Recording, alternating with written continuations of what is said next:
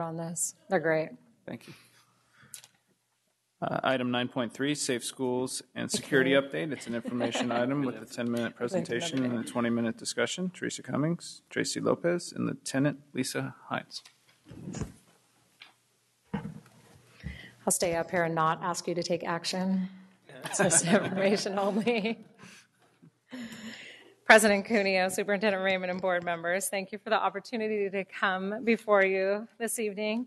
My name is Teresa Cummings. I'm here with Lieutenant Lisa Hines and Tracy Lopez, our Safe Schools and Security Services Manager. Tonight, we will be updating you on what we are doing to ensure that Sac City Unified School District is providing a safe and secure learning environment. Sac City Unified School District has a fundamental responsibility, an ethical and a legal responsibility to provide a safe educational environment for our students, our family, and our staff. We also have a responsibility to the taxpayers, our neighborhoods, and our students to ensure our facilities are maintained in an order to provide a safe and healthy learning environment.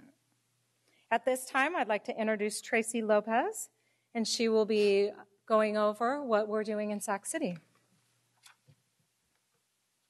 Here, I'm gonna leave that with you, or I'll. You want to do it for me?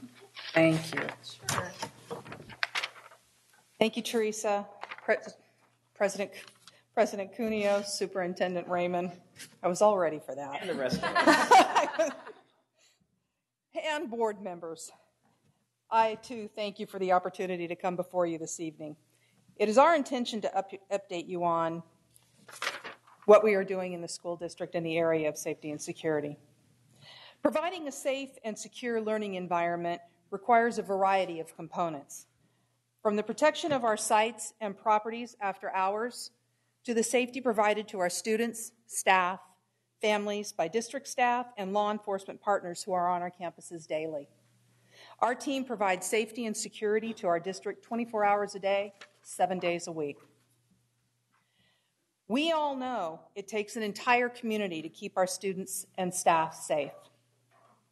We rely on our partners to sit on our committees, to volunteer on our campuses, and work with us to achieve our mutual goals.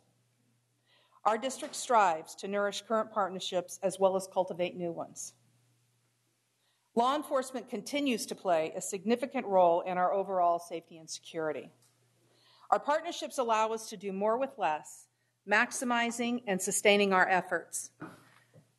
Partners bring additional knowledge and views to provide a broader perspective on issues and solutions. You will see shortly some examples of our partnerships at work. Safety assessments were done on all of our campuses in December of 2010. One of the outcomes of those assessments were upgrades to camera systems and lighting. The Safe Schools Office is committed to providing support to all of our principals to make sure the highest degree of training exists. We continually assess and reassess our practices in real time and judge them against best practice strategies. As we look for the best ways to promote and provide safe learning environments for staff and students, we look to best practices to help guide our decisions and actions. Among the agencies we look to are the Federal Emergency Management Agency, the California Emergency Management Agency, local and federal law enforcement, the California Department of Education, California school boards, the Coalition for Adequate School Housing, and of course, other school districts. The Sacramento City Unified School District Safety Committee was reconvened after the tragedy in Newtown, Connecticut. The committee is made up of a broad group of stakeholders. Members reflect our community. It includes parents, staff, students, law enforcement, the fire department, emergency communications personnel, as well as the community at large. The intent of the committee is to provide Sacramento City Unified School District with input and feedback on district wide safety issues. State law mandates all schools submit a annual safe school report. I'm sorry, a safe school plan. Plans address school culture and climate, as well as the physical plant itself. In addition to procedures related to bullying, I'm sorry, in addition, procedures related to bullying must also be included in that plan. Each site must have their plan approved by their safety committee and be available for public viewing. The Sacramento City Unified School District Safety Committee will be reviewing the Safe School Plan. We'll be asking the group for recommendations on how these plans can be improved. Items to be considered will include supplemental emergency procedures and a revised submission time. In addition to the efforts of the Safe School Office and security services, our schools are engaged on a daily basis in activities and programs that help educate our students on a variety of safety issues. Our department has an acute focus that all students and families displaced by school closures are safe and cared for during the transition to their new schools. Our efforts include identifying walking routes to receiving school sites. Walking maps will be provided to families and will include safe walking information endorsed by the California Department of Public Health. We will be utilizing information from SAC PD, the Sheriff's Department, and the California Highway Patrol to determine bus pickup and drop off locations. We are also working with the City of Sacramento and Walk Sacramento to provide pedestrian safety assemblies for all closing and receiving sites. We continue to gather feedback from our partners and community members on this topic. Our close collaboration with law enforcement partners maximizes our resources. While we're talking about eight contracted school resource officers, we're actually getting an entire department if needed. Sacramento Sheriff's Department has adopted our schools in the unincorporated area of Sacramento. Those officers are frequently on those campuses in much more than a law enforcement role. And in talking about resources, Grant funding has allowed us to provide resources and programming we would otherwise be unable to provide. Grants have provided over $1 million worth of programming in the last three years. One of those grants, the Readiness and Emergency Management in Schools Grant, also referred to as REMS, has a sunset date this summer, August 2013. It's provided funding for extensive training, equipment, and staffing. We recently found out that we will also be receiving additional funding for gang violence prevention intervention through 2015. An example of the type of activities this grant promotes is after school football at Will C. Wood, and the gang violence prevention intervention specialist at McClatchy High School participates in the Men's Leadership Academy. The Secure Our Schools grant, which is funded by the Federal Community Oriented Policing Program also known as Secure Our Schools, is funding curtains and additional camera upgrades at sites. The It's Up to All of Us grant, which is funded through the California Department of Public Health, is funding pedestrian safety assemblies at closing sites and walk audits. The Office of Traffic Safety, a grant, will provide one full time school resource officer for traffic related issues district wide. Announcement of this grant should come to us in 2013. We know that all of our sites are committed to the highest level of safety. As you know, there are varying degrees of experience, not only with staff, but with principals as well. As an example, we have principals who have been leaders for decades, and others who have just been appointed to their first principalship tonight. The Safe Schools Office will be providing support to all of our principals to make sure the highest degree of consistent practices exists. Training continues to be an integral part in preparing for and responding to emergencies. We also utilize training to provide overall strategies for campus safety. Violent Intruder Strategies Train the Trainer was conducted to sustain information and provide refreshers down the road for staff, both current and new. In addition to the Train the Trainer workshop, we're providing violent intruder training for all of our administrators and campus monitors, as well as office managers, teachers, school plant operations managers, custodians, nutrition staff, and other key personnel, including volunteers. We're going to be creating a training video for parents to provide information on what to do if the unexpected happens. A longer version of that training video will show what we do during a lockdown and or intruder event. All trainings listed on our PowerPoint have been ongoing. Many have occurred this year and will continue to occur. Sacramento City Unified School District and the Safe Schools Office will continue to assess and reassess our practices in relation to the safety and security of our students, staff, and families. Thank you. Thank you, Tracy.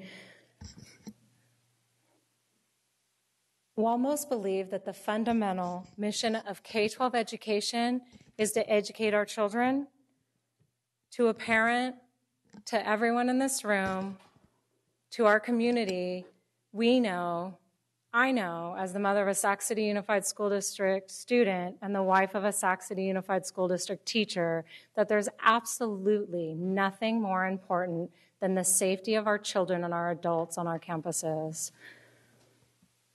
We are here to answer any questions. We have Lieutenant Hines if you have any specific questions for her, and Tracy Lopez and myself can answer any questions or concerns that you might have. Thank, Thank you. you. We'll have a public comment first. Oh, sure, of course. We have three public comments from Leo Bennett Cauchon, Jessica Arriaga, and Darlene Anderson.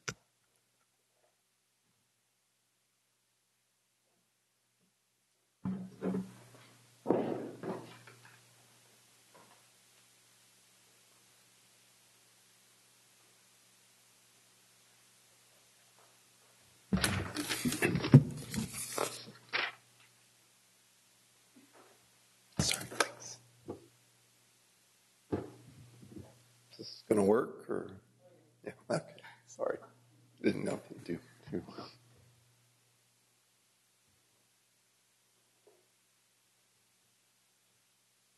Safety is a collaborative effort.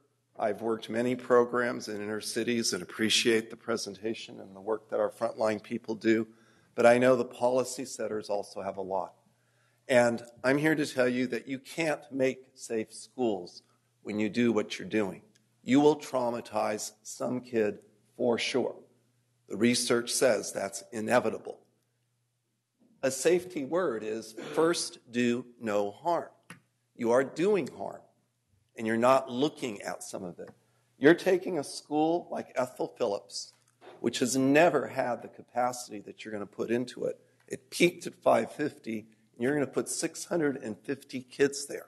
How are you going to keep it safe when your million dollar facility plan already states that it's below the standard in terms of size for its existing population? The drop off area is very congested and hazard, and that that's an unsafe environment for children.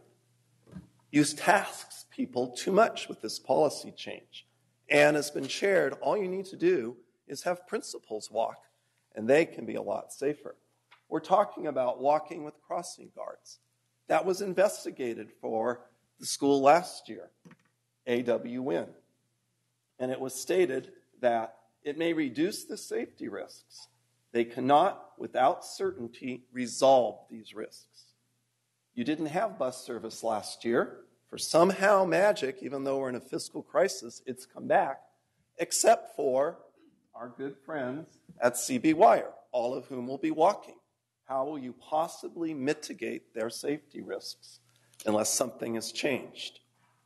Overall, you're creating seven educational deserts by closing these schools. And we've talked about this over and over again. This is the crime density map for Sacramento City. Our schools cover the county as well. I've estimated where our closed sites are. Just like with the poverty impact, they overlap. I'm also been asked to generate Megan's Law. They also overlap. Again, in my opinion, in too many years on inner city streets working with homeless populations, you are overtaxing. Perhaps you need to triple her department. Thank you. Oh, and I just thought that a really good visual was shown and that we need to keep thinking about it because these targeted schools overlap with every safety variable. Thank you.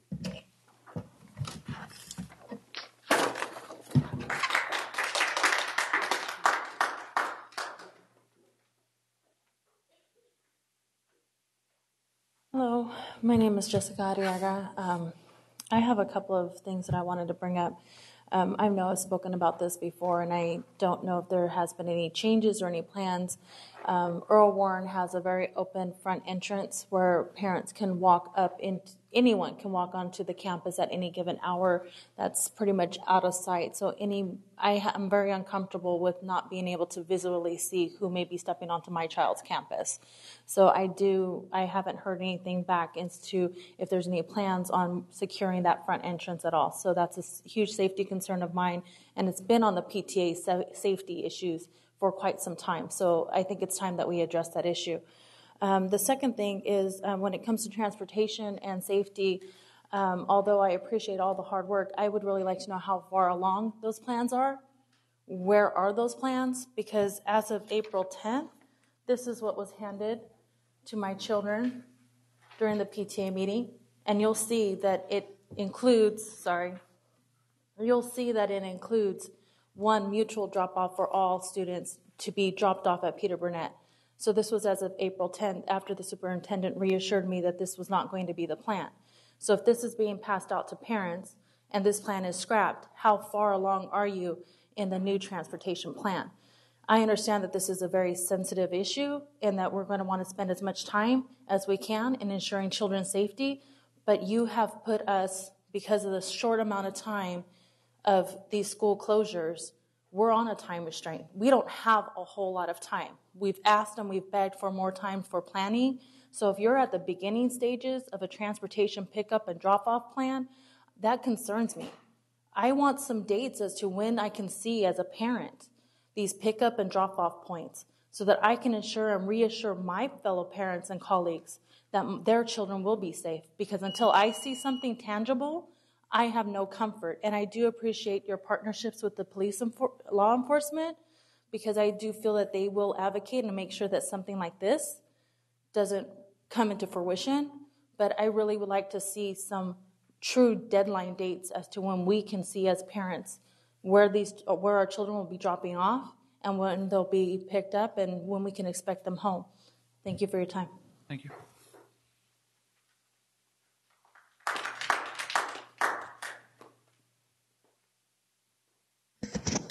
Good evening, Darlene Anderson.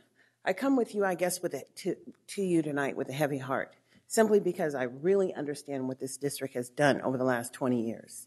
They have created separate and unequal educational options for African American children and Latino children.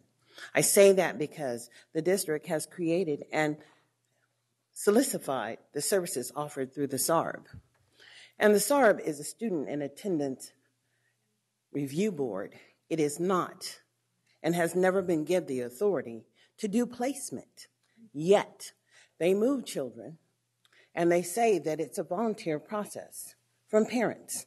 How is it that it becomes a volunteer process when you have the district attorney and the welfare office included? It is not volunteer. And the district may say, well, we've done such a great job in graduating more African American children. Well, let me tell you, Credit recovery, when a child has never, ever attended Kennedy, Johnson, or Luther Burbank, ever, but they walked with those students and graduated and were given high school diplomas from those comprehensive high schools where they were denied access. And that's what we're talking about. We're talking about access and equality. We're talking about a faith. We're talking about the right to a free and appropriate public education, which has been denied from this district for children of color. And I'm telling you, I filed a uniform complaint and I'm trying to understand the process. I thought that you were having behavior hearings. under special ed. Turns out, no, that's not what's happening. You are having SARBs and informing the parents they have a choice. What is a choice when you have the police, the DA, CPS, and a group of people who will chastise families? It's not a choice. It becomes a decision families make so that they do not get caught up in law enforcement.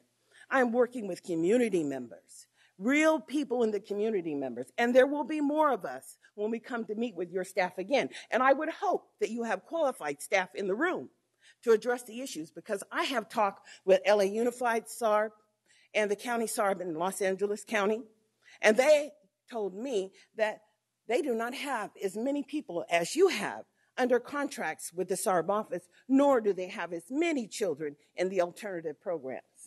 And I'm saying tonight that you are accountable as a board and can be held liable as board members for denying an educational option to children who have a right to a free and appropriate public accommodation, which is a service that their families pay taxes for. Thank you. Member Pritchett. Thank you, President Cuneo. Um, and thank you for your presentation and coming here tonight to um, give us some insight of what's being done in our district. Um, when I asked for this a while um, ago to be put on the agenda, I had some kind of key things that I wanted to touch on. So I'll just kind of go through what, what I was thinking. Um, in regards to fire plans, when you're at a school, did you hear me? Fire, fire plans. Fire plans, Fire plans. yeah. Sorry, you had that look on your face. I Um, fire. when I went to go visit some of the schools, that, uh, mainly ones that had portables, Mm-hmm. I noticed that there was only one door in, one door out. Um, so when there's fire drills, are they to climb out a window uh, as part of the drill? Do you know that? As far as I know, as, as part of the drill, they go out to the door and they go to a pre-assigned location. Um, typically, those locations have been approved by either the city or the county, excuse me, Metro Fire. They have to be a certain number of feet away from the building. So what if there was a fire at the door? Like they would go out a window, right? But they don't have any training to go out the window. It would just be done at that moment and supervised by a teacher. Is that right? Yes. Okay. I just wanted to clarify because I noticed that when I was doing school tours. Um, I wasn't sure. Good observation. um, school resource officers. I know we, um, last year we had cut some of our school resources officers. Um, for I know in particular for my area, we had one at Einstein Middle School and we had one at Rosemont High School, and they're both very very busy. Now we have one that covers that entire area. Um, do we foresee um, in the next school year that we will have additional school resource officers? That'll be a budget decision. That will be a, a budget discussion when we, um, when we get into our recommendations. That's the place where we would be putting something like that. It is something that we are considering. Okay. Um, AED machines. Yes. Are they on each school campus? Actually, that is, that's going to be a question better directed to health services, but it is my understanding that they have been removed from campuses because of training and upkeep. Okay. Did we reach out to training? And upkeep. Did we reach out for training like through the um, Nurse Association or American Red Cross? I know that they offer free training for these machines. Certainly never an attempt to pass the buck, um, but health services oversees the AED machines, and they'd be much more qualified than myself to answer that question for you. Okay. We can certainly get the information to you, and we can take care of that. These machines are just so important to have on our school sites. I know. uh, especially those that have sports leagues. Correct. um, on the sites.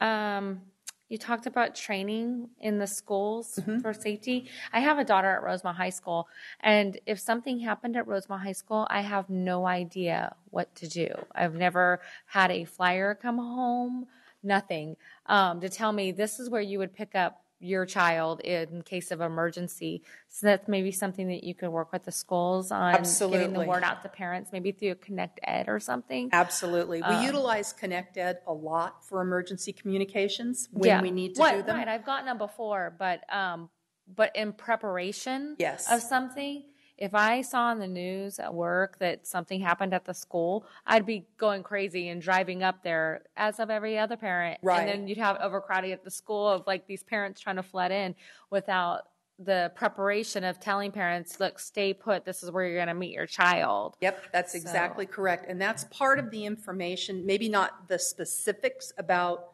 Rosemont, Uh-huh. but that's the type of information that's going to be in that training video that I referenced in my presentation. I can't wait to see it. I can't wait to do it. Um, the uh, Jessica Arriaga brought up Earl Warren, um, and she showed us a copy of the um, drop-off plan. Uh-huh. Is that something that we can get emailed to the board? Let me take that.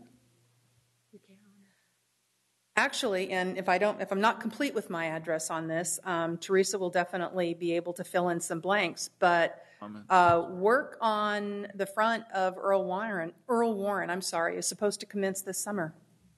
Okay, so that gate will be closed off, and Um, Member Pritchett, Yes. I, I can help a little bit. Um, that will be on the agenda the first meeting of May. Transition piece, including the busing. I would okay, expect that the but it's already gone out to parents, right? I'm just asking if it's gone out to parents, and it should I'm probably sure be about sent that, to but the I, board I, as well. I'm actually speaking to your concerns, and and we'll be discussing those concerns uh, and issues uh, the first the first meeting in. I understand what you're saying, um, but what I'm saying is that if if it's already gone out to the parents, they're going to come to us, not just those that are on the executive committee asking for questions. And if we weren't emailed the documents, we have no idea how to answer them. So that's all I'm asking. If they've already gone out to the parents, just please email them to the board so that way we know what they're talking about. And just from a safety perspective, we are working with the principal and maintenance and operations staff is working with restriping and redesigning their front parking lot. And that'll be done this summer. Thank you mm-hmm. again for coming out and doing this presentation. I really do appreciate it. Member Arroyo. Thank you, President Cuneo. I do have a few questions. Um, one of them, I'll start off as I kind of numbered in here, and it's um, on the technology piece. Um, wanted to know if there is a um, plan uh, that has been laid out as to uh, how we're going to uh, deal with the technology piece. I know that um, um, we are going through, uh, well, seven campuses are due to be closed, right?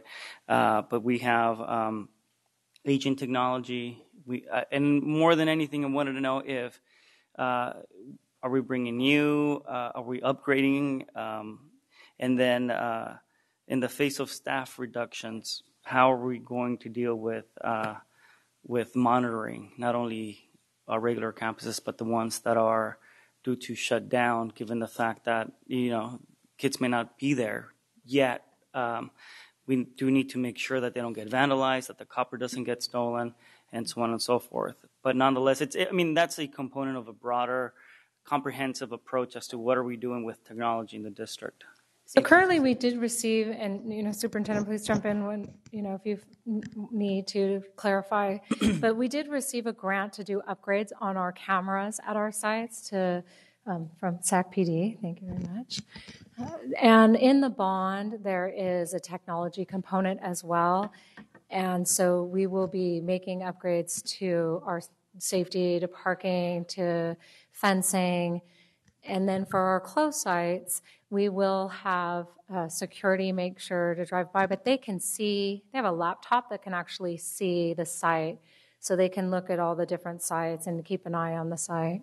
And then uh, staff-wise, I mean, uh, how are we planning to kind of roll that over with technology and who's going to be monitoring and doing the uh, the operating of the equipment and upgrading and, and the like?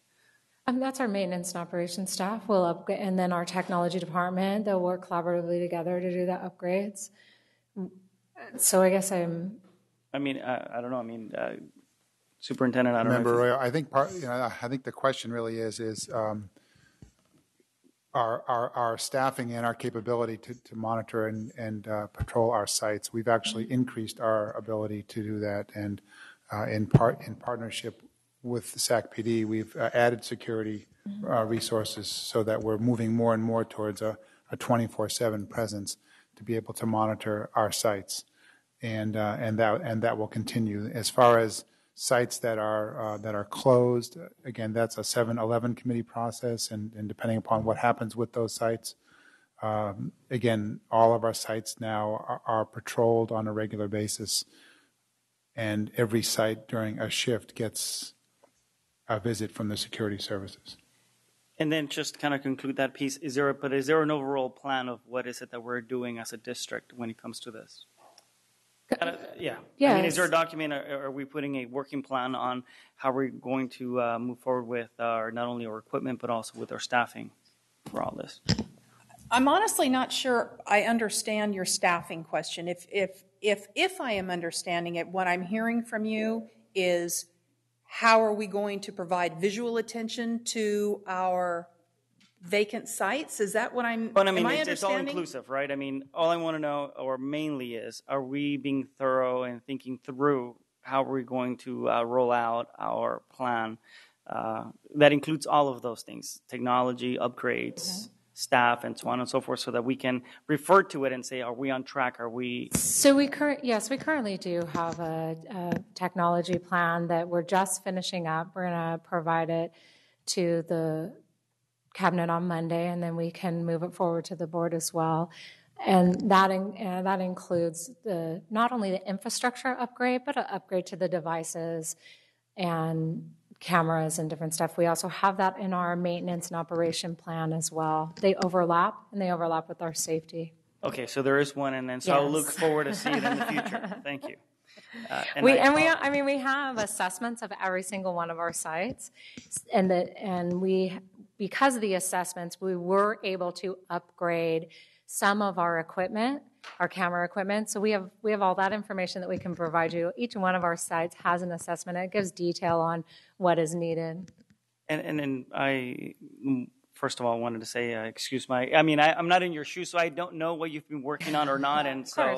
Not knowing what to ask, you know, sometimes we just you know, want to make sure that we answer the right. Okay, I mean, we want to. So a plan is forthcoming, and that that's you Correct, know yes. that helps with that. Okay, and then um, on the walk uh, walking routes, um, it has been uh, brought up by a couple of parents Mm-hmm. as far as uh, there's the ideal, and that's kind of like the. Uh, the goal and what we want to achieve, and as you go through the as you went through the report, I mean, I think that there are very uh, thought out plans and ideas of what we want to do. But then as parents come and they're kind of telling us what is not or uh, what is or it's not working, it basically points out to some of the deficiencies as how we're moving forward and implementing these um, either the closure process or the transition. And uh, so I'm still wary that um, we are not necessarily meeting the needs of the community. Uh, and so I, I really like the fact that parents are coming up and talking to us. I mean, I, I commend you for all the work that you do, uh, and you have to put your best foot forward. Yet, we definitely need to listen to the parents when things are not working. Um, I, I really don't want to continue this uh, closure and transition process with parents continuing to bring uh, comments of things not working, and either we're trying to kind of rush them off and not deal with them, and because it basically what it, it what the way that it looks to me is that we're just trying to shove it underneath the rug, and we are not necessarily very interested in in really meeting their needs. Um, and so I, I really hope that as the weeks go by and the meetings, you know, that we have, and we get the updates as parents come up. Um, I get it. It's very difficult to meet every single need and every single concern, but I mean, I think that some of these are recurring uh, issues. Uh, one of them is, for example, one of the parents coming and saying, you know, I was told that this was not going to be the plan. Nonetheless, it's already out there. Uh, so either there's mis- miscommunication or we are not really following through with what we told parents we were going to do. So that's So, Member Arroyo, I don't mean to interject, but I, I want you to know that we are continuing to reassess and reevaluate and adjust. And we do, we take notes and we look at all of the parent comments and we address them and we work with the site personnel as well as with the Sacramento PD to make sure that our kids are getting the most up to date because things do change. And so we continually evaluate, reassess, and readjust. And then we'll work um, to communicate those readjustments out to the parents. Yeah. And so you continue to hear from me. Uh, embrace the parents. Oh, They'll work with you, and uh, you know, uh, we'll we will be able to move forward a lot better. Um, a couple of questions, uh, Ms. Lopez or Mrs. Lopez, I, Miss Ms. Lopez. Mrs. Uh, Mrs. Mrs. Lopez, uh, on the safety committee, uh, you mentioned that it got reestablished, um, which is great. I just have a couple of really quick questions. Is how was it publicized, and how do we uh, inform? I mean, is it open to more parents? Because I would like to know when, where it's meeting, and then really allow more parents and more stakeholders to be part of those conversations. Oh, go ahead. I, I would love for that to happen. Uh, our next meeting is actually next Tuesday, I believe, and I can email you that date for sure. And then we also have another standing date in May, and we'll be meeting throughout the summer as well. And how did you publicize to go out there to recruit these stakeholders? At least as you mentioned them, you already have parents and students and, and so on and so forth. But I mean, You know, we we had been at a couple of meetings prior to that, and there were people that expressed an interest, and so I reached out to those people, and we had partners, um, like I said, the fire department and emergency communications. Uh, there are some very active people in our school district. There were staff departments that were interested in participating, and those were the folks that we reached out to first. You make a very good point. I think it'd be great to publicize it. I think the more minds that we have at that table, the more beneficial that committee will be.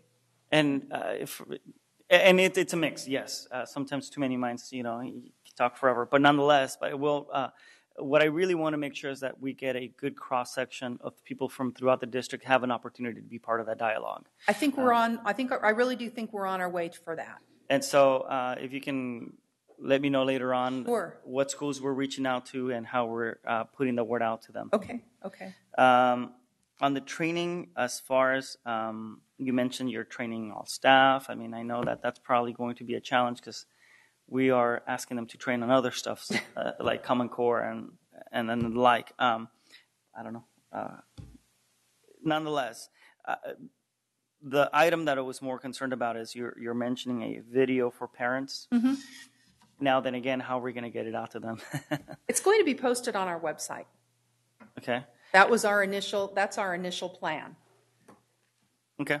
So we'll also work with our parent organizations and with our principals. Some of our principals, in order to make sure that um, we can download it to a DVD if they don't have access to the internet, and then we'll provide it to the principals. So in their in their family resource centers, they can have it on the computer as well. Um, we, some principals have reached out to us, and we're actually doing on-site training for their volunteers and their parents. So we'll continue to do that, specific site specific, as well as the the more global. Okay. Thank you. Appreciate your work. Uh, Member Rodriguez. Thank you. Um, I have questions about the fiscal aspect of this, um, but before we get there, uh, I want to talk about the um, go back and circle back to the AED um, conversation. Um, you know, I think there is like the fire department or the um, there's some there's an organization out there that does the free training, and um, I've heard from uh, parents in the district that we do have these machines available. Um, and when it comes to saving the life of a child, I think that we should really make that a high priority. Um, you know, and I really, and I appreciate Mrs. Lopez. I appreciate your answer. Um, so honest and so forthright. And I, and I know with confidence that you're going to get that answer from the health department. So, um, but I just want to reemphasize that that machine is well extremely, um, extre- extremely careful when it comes to the life of a child. We have I to totally agree. And, and, and as I stated earlier, the, the AED machines um, are overseen by our health services department. And any information uh, about those probably would be best coming from them. Yeah. And and while you have the fire department on your um, safety committee, you might want to ask them. I, I know they they're a little bit they're a lot more experts than that. They, ask them where there's that free training at because uh, I know they'll they'll have the answer. Um, fire department is awesome. Not the same. Not the PD is. the PD is awesome, just the same. But um, they do so much. Oh, absolutely. We don't even realize. They're huge advocates. They are. Um, um, so, and then the other thing is about the emergency preparedness um, for the families. Um, you know, uh, unlike um, board member Pritchett, um, I had a high school daughter that went to a private school, uh, and their emergency preparedness um, they did it annually, and so they had a meeting with parents, and um, you know it was a mandatory meeting, and then they told us that we were. Uh, these were all the things that we were responsible responsible for, and then they kind of gave us a heads up on what we should expect for the year. And part of that was emergency preparedness. And um, they did this system, and it's um, I know that we had we used to have Zangle here, but they had a, a different system over there in Naviance. And um, uh, do you remember Miss Teresa? What the other one was? Sassy? No, it was at St. Francis. Um, there was two systems, but anyway, um, one was for the student as they were um, going and navigating through the process to get to college, and then the other one was for both students, parents, teachers um, to to access the students. And so, at any given point in the day, a parent could log in, find out where their which class their daughter was in, um, and uh, if they attended on time, tardy, or at all. um, and then if they completed their homework assignment for that, you know, that would they were supposed to turn in that day. And so through that system, um, they were able to email us, the parents, um, in case in the event of an emergency that came up. At the same time, they also did a phone call. So they had like this one eh, once a year thing that they did. Um, they made sure that all of us parents had that connectivity um, you know, and they gave us feedback at the end of it. They said, you know, we contacted this many parents, uh, this many parents responded. We knew that we were responsible to respond, to, to give them a reply, that we received that. So we might want to go through that kind of a system here. Um, St. Francis is always open to talking to everyone, especially about their best practices. I, I would Definitely. recommend that. We're always, you. we were, as I said in my presentation, we, are, we look to other schools and other schools, school districts for best practices. So that would be definitely something that we could look into. I know in our district we do have Connect Ed, and that's utilized extensively to communicate with parents. Um, we also, you know, have some parents' email address, email addresses, and I know that that's probably not as consistent as we wish it were. Um, but that would definitely be something to look into, and that's great. And I also know that with Zangle, uh, there is a parent portal that parents can get in and, and get certain information about what their child is doing in school. So, uh, you know, emerging in the, of those two things definitely could be beneficial. Thank you very much. Yeah, yeah, I thought I'd bring that up. Um, best practices, hey, doesn't stop just at the one school because Right. you know we, we can't do it. I think we can, just have to find a way. Um, Member Rodriguez, if I can add that our uh, ConnectEd system also does allow for texting to families in case of emergency, which schools have that ability as well. We don't use it on a regular basis because there's a cost potentially to families or to parents receiving the text, but we do have that capacity in case of emergency. I like that idea. Maybe we can ask when um, every year, you know, the parents we have to fill out the um, emergency form for our children. Maybe we can ask on there, like, um, can you receive texts, and would you, and for emergency purposes, can we um, send a text to you? Um, because I know with the um, with the Connect Ed, not a, I've, I've stood there and parents have been receiving Connect Ed phone calls. They're like, "Oh, this is school again," and they'll hear the first couple of words and then they hang up. And you know, and I tell them that's vital information that we should listen to as parents because you know somebody's taking the time to create that message. Um, so, so yes, a text message you can't miss it. It comes across your phone. Um, so it might be one of those things that we can modify for this next school year coming up. That's a great idea. I didn't even know you could do that. Yeah, in fact, some of our schools are already utilizing the texting function with ConnectEds. As you noted, they're asking parents permission. I think uh, Charlie Waters at Kit Carson has used that function for communicating with parents, not just mm-hmm. for emergencies, but also um, for general communication, a general communications tool um, but not all schools are using it yet. So it is something we can look at expanding. Yeah, I would say especially in those areas where where social economically disadvantaged families, high population of those, I believe that most of the people have cell phones there, and that's the technology use, their entree into technology. So we should really be pushing that in those uh, environments as well. Our ConnectEd system also allows us the ability to um, to delineate between a, a, promotional text, i.e., there's an upcoming parent event, and an emergency text, which means that, and the difference generally is that in emergency text, oh, excuse me, an emergency call, um, the, the message will go to every phone number in a parent's contact, so their cell phone, their work, their home, to make sure that you know we reach them as quickly as possible. So our, we have a pretty powerful system at our disposal, and, and we're working with principals uh, annually to train them on what what tools they have available to them. We should open it up. Thank you. Thank you for that info. Hi, I'm Lieutenant Hines. There's one thing I wanted to add to that. We had asked a communication supervisor to sit on the security committee because uh, basically Reverse 911 has all of these capabilities. They can do the phone call, they can do the text message. If the school, if a particular school or the district wanted to open the phone numbers up to the police department, and provide those numbers, we could do it would be one push of a button and we could reach everybody. Um, we can also draw an area map around a particular address and send out that information as well. So that's why we had invited him to our security meeting to provide us more information so that we could research that. That's awesome technology right there. Can we write that down as part of our policy? Because that that is that's great that the, our SAC PD has that capability. I, I, I guarantee that our sheriff's department should have it just the same. We're so, actually the hub for many um, area agencies because of the technology that we have with that reverse 911 system. Wow, that's great. So you service the unincorporated and the, the city? I don't know about the county, but there are particular um, agencies that are actually contracting with us for that system. That's, that's awesome. Thank you. Thank you. I think we should include that as well. Um, take note and do, whatever, do what we can to incorporate that in our safety plan. That's awesome. Um, because it, it's so often that the neighbors around without children, but they live in that school uh, site vicinity, vicinity and, and uh, they require that information just the same. Because a lot of us just Very go true. out there like, what's going on? Yeah. yeah. Yes. Um, so thank you for that, for sharing that information.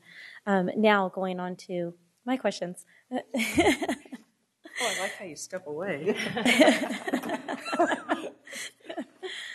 Um, okay, so thank you, first of all, first for reestablishing the safety committee. It's unfortunate that um, we had to wait for an event for the safety committee to be reestablished, and this is going to be like my my little like um, bandwagon kind of thing here on this. I've asked for another committee for a budget committee to be established. I know that at some point on this board, there was a few people that did not believe in committees, but um, Dr. Hausman, who used to be our board member, you said, I when remember I, when I first got here, he said, "Diana, the heavy heavy lifting is done in our committees, and so you have to be willing to put the work into our committees, and then and then we can inform the board as a whole outside of those committees."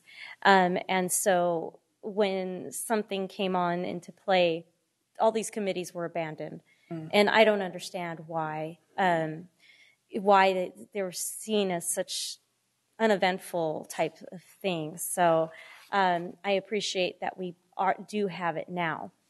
Um, but we used to have a board presence on those committees as well. Okay. And so um, I like that you have all of these stakeholders here, but a board member um, should be invited to be part of this board, this, this committee just the same. Because then when I would hear back when we had a safety committee, and I appreciate some attention up here from board members, um, but when we had questions in the past, um, or I got questions in the past about a safety issue from a parent, I would I would always say, you know what, we have a board member that sits on that committee, and perhaps you can ask them if that's been a topic of discussion there.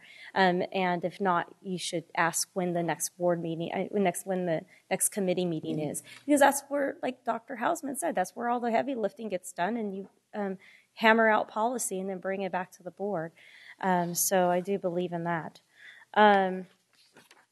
So on the on terms of fiscal considerations, I don't know which one of you wants to answer that, um, but on the last um, item that we had heard, it was uh, fiscal considerations and slash day or no, you know not at this time. And I see throughout this we have we're talking about grants.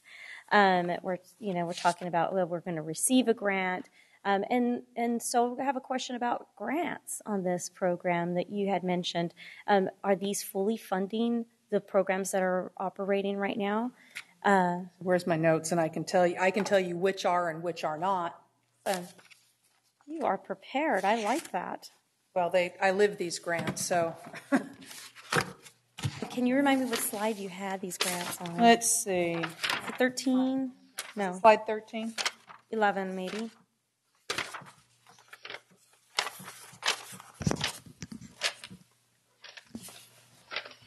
There we go. No, yes.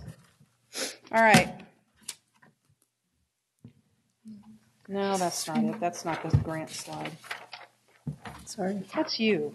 Can you pull up, Gail, can you please pull up the grant slide? Grant funding utilized? Mm-hmm. Slide Yeah, number there we go. There you go. Yeah. Back one. it. There we go. Thank you very much. All right. While the Readiness and Emergency Management in Schools grant funded a large portion um, of the activities, training, and equipment and staffing, there was some matching funds, mostly in the way of uh, personnel and time. Uh, there, at the time, there was some match for accountability.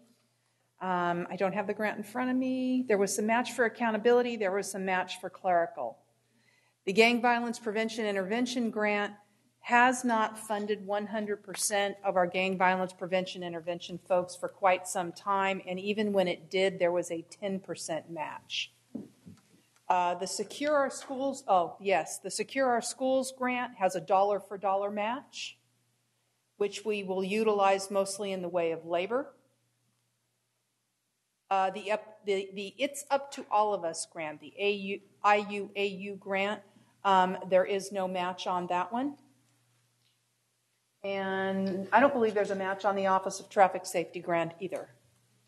Great, thank you. I appreciate that. And if you have any clarifications or changes after you leave, um, If you want, if you need an exact per, uh, percentage on the REMS grant, um, I can get that to you, but I don't have it with me tonight. email was fine. I, I, I really appreciate that. Thank you for being very prepared coming forward. Thank you very much. Appreciate it. Um, sorry about that.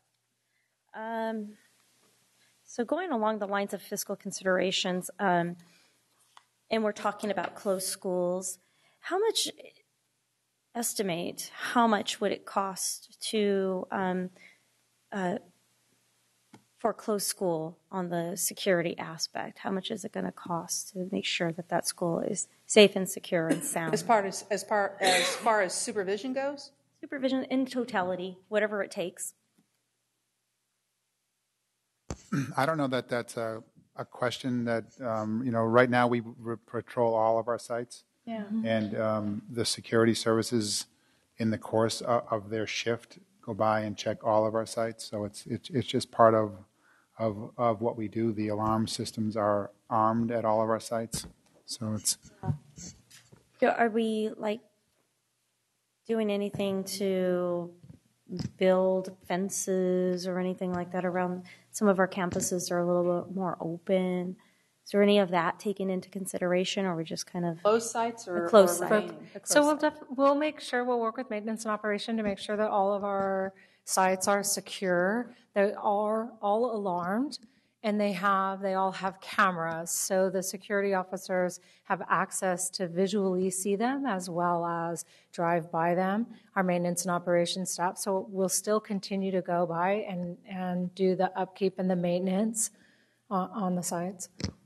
And, and our, all of our alarms have 24-hour monitoring as well. Oh, I'm sorry. All of our alarms have 24-hour monitoring, monitoring as well. So when there is an alarm activation, um, if security is on, they are dispatched. If they are not on, um, if it's a school in the city, SAC PD responds. If it's a school in the county, Sacramento County Sheriff's Department responds. Thank you. Thank you. And I just want to thank SAC PD for their um, continued relationship with us. Thanks, um, Mr. Sheely, um, sitting so quietly in the audience back there. I thought you were going to come up here, but thought I'd do a shout out to you too. Um, so thank you very much um, again for your continued partnership. I know that SAC PD does way more than just um, patrol our facilities. Um, they are very actively engaged with our student population, our parent population, and now with our safety committee. I want to thank you for your continued um, uh, partnership with us. It goes go way over and beyond what your call of duty is. Thank you. We agree. Member Pritchett. Sorry, one thing that came up, really simple question. I was just curious in regards to monitoring, Uh-huh. um, like on a weekend or of some sort. The reason why I ask is I live around the corner from an elementary school. Mhm. One weekend we heard the alarm going off, Mhm. and usually we hear them, we go check it out because you know. Thank you. Yeah, I mean, we we're neighbors, right? We ask we ask our So, neighbors to help uh, us. So we went down to the school. Uh-huh. After about 15, 20 minutes, the alarm went off, but there was a window broken and there was glass all over the place. Mm-hmm. We tried to call the principal um, at the time. There, he was out of town, so he couldn't do much. He said, "Well, the, they've been called, but nobody came." My husband actually went and got a piece of plywood and screwed it to the window to make sure it was secured because we were worried about somebody trying to get through the window and cutting themselves on the glass Right. O- or stealing from the classroom. Yeah. Um, so I'm just curious, like you said, you have monitoring 24 hours. What's the process in for something like that? No, I was just going to say, um, typically, if some, if a window is broken, the alarm goes off, and security is for some reason not on. The Astrosonics will call. We usually get a phone call to and Tracy or Barry Evepack, who is our directors of facilities, and then they will send somebody out to make the repair. Okay, So I, I I don't mean, know what this- happened in that specific case, Yeah. but that's but that's typically what happens. That is so the maybe this was just a fluky thing because we were out there for quite some time Yeah. and nobody came. yeah. Um, if I might suggest, if that ever happens again, and we actually try to make contact, I have day security try to make contact with neighbors of our schools. Um, we're in the process of creating another brochure to hand out to neighbors with ways to respond in case something like that happens. Um, if it goes off again, I encourage you to call um, 643 7444. That telephone number is monitored 24 hours a day, either by our security services office or by our alarm monitoring company. And if we don't have anybody on and they aren't able to get one of our law enforcement partners out there, frankly, they call me. And then I connect immediately with Barry Evepack. And uh, we get somebody out there to A, silence and reset the alarm, fix the window, do whatever it is that we need to do. Uh, Do we have pamphlets or anything that we hand out to the neighbors or like a flyer? Is there something that you can email me? The reason why I ask is I, I work very closely with the Rosemont Community Association, and there's a big community meeting happening on May 8th, I think it is. Okay. And th- I'm sure that this is going to come up because we've had some issues with some of our schools with our alarms going off in the middle of the night. So I'm sure that When is people it, are the gonna- 28th? I think it's May 8th. May 8th? I'll get Yeah. it to you before then. Okay, I appreciate it. Thank you. I think we'll get it, we'll get it out to all board members, please. Oh, yes. Uh, Vice President Kennedy. Thank you. Um, actually, whenever one of the schools in my neighborhood alarm goes off, I'm on speed dial with plenty of people. And I was just thinking I should put you on that speed dial, Tracy. Thanks, Patrick. Yeah. um, couple of things. One is uh, the reaction to Newtown. Um, I want to compliment you. Um, obviously, reaction is something that we all should do and need to do and reassess and all of that. But overreaction is something we don't need to do. Right. And uh, you know, the after it happened, everybody was practically talking about turning our schools back into prisons rather than open community uh, centers. And um, I think that the value really lies in the violent intruder training um, of the site personnel, and that you know rather than phys- physical, there's some physical things we can do and we need to look at and evaluate. But the most important thing, and it seemed to be the case in Newtown, was the training of the um, staff and, and how to deal with it properly. So kudos for recognizing that. I appreciate that. Thank you. Um, the I actually had was going to ask that AED issue too, but that's been beaten to death. Um, you know, it, it, it came in as a specific instance uh, is the, the, the tragedy at uh, 58th and Fruitridge, um, but as an issue, a bigger issue. Um, you know, I'll always take shots at city traffic whenever I have an opportunity, um, and and that's the, because you know I've I've worked with Council Member McCarty on that specific issue at 58th and Fruitridge, and he's been very helpful. Problem is, is that it's on a list. It's on a very long list. Um, does the city ever reach out to us as far as when they're prioritizing that list? And if they don't, how can we insert ourselves vocally in that process? That's a really good question. Uh, we've actually been working, my department has been working very, very closely this last year with, uh, most specifically, city traffic engineers and traffic investigators. And they've met me and Lieutenant Hines out at many of our sites to address traffic issues in front of the school. What little I've learned about the process is that there are a set of guidelines um, that they have to follow when it comes to striping and signals and link between this and link between that. Um, I think the squeaky wheel gets the oil. Um, I, you know, I think we've learned that as neighborhood members. You know, when we want something done, the more contact we have with those that can get it done, the quicker it gets done. Quick being, oops, quick being um, a relative term. Right. Uh, but I do. I think that more contact that you can have with city traffic engineers about that particular location, the better off you're going to be. Um, you know, I know there's been discussion about a signal at 58th and Fruitridge. Um, there, I know that there is a signal at Ortega and Fruitridge, and there's also a signal at Stockton and Fruitridge.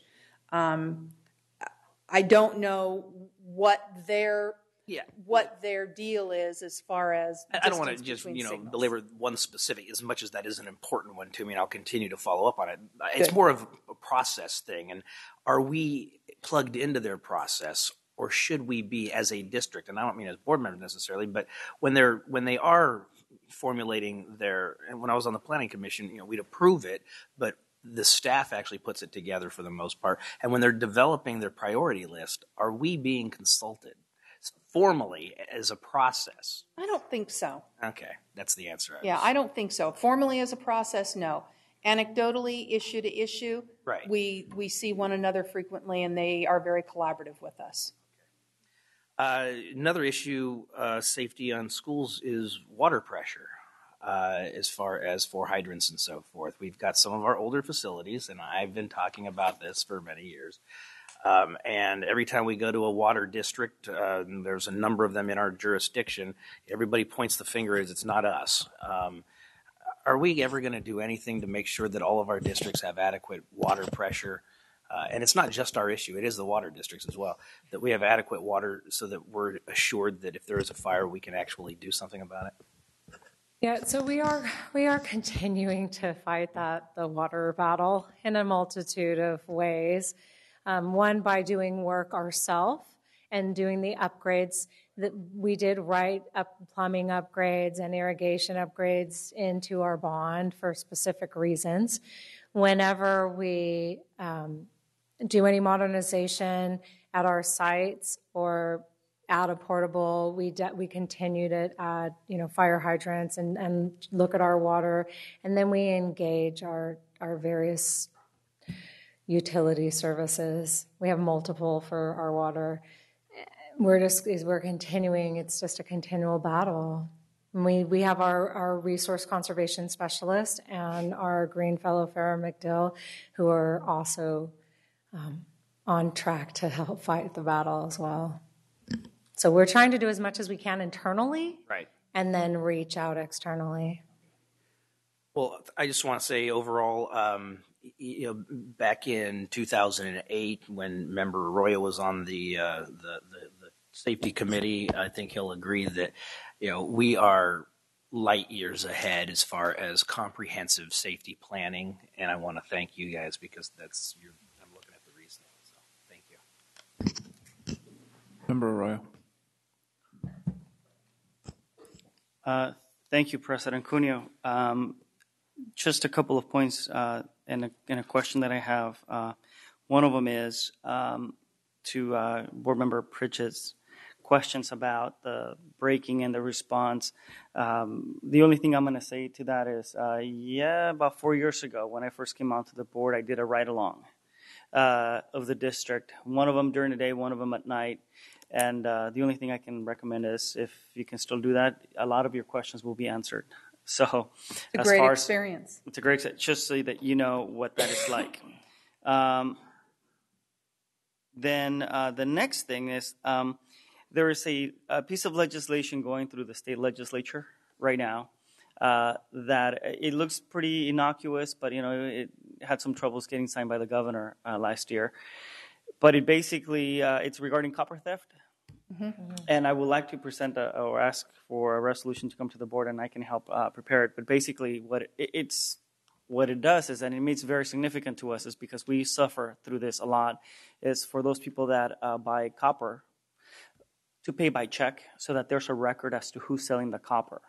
And so there was it was uh, an issue that kind of got hung up on some policy uh, nebulous issues, but nonetheless, the bottom line is that if we as a district can support issues like that, then hopefully we can mitigate a lot of the impacts going on. And I would be glad to uh, uh, bring the language and uh, help out and bring it to the board for support, um, uh, given the conversation we're having. And then the, the, the one question that I have is, uh, do we know what our alarm response costs have been? Because I know that we have to pay when alarms go on. And so do we have an idea what that is and what it is for this year?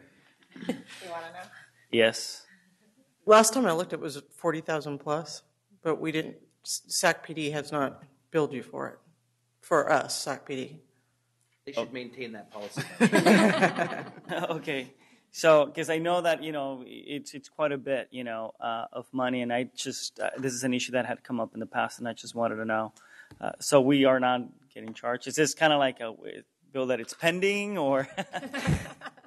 There's actually a new city alarm, um, city code in regards to, to businesses, and basically I'll need to get back to you after I do a little research, but technically you do have the bill that is pending, but we are not yeah, and pursuing it.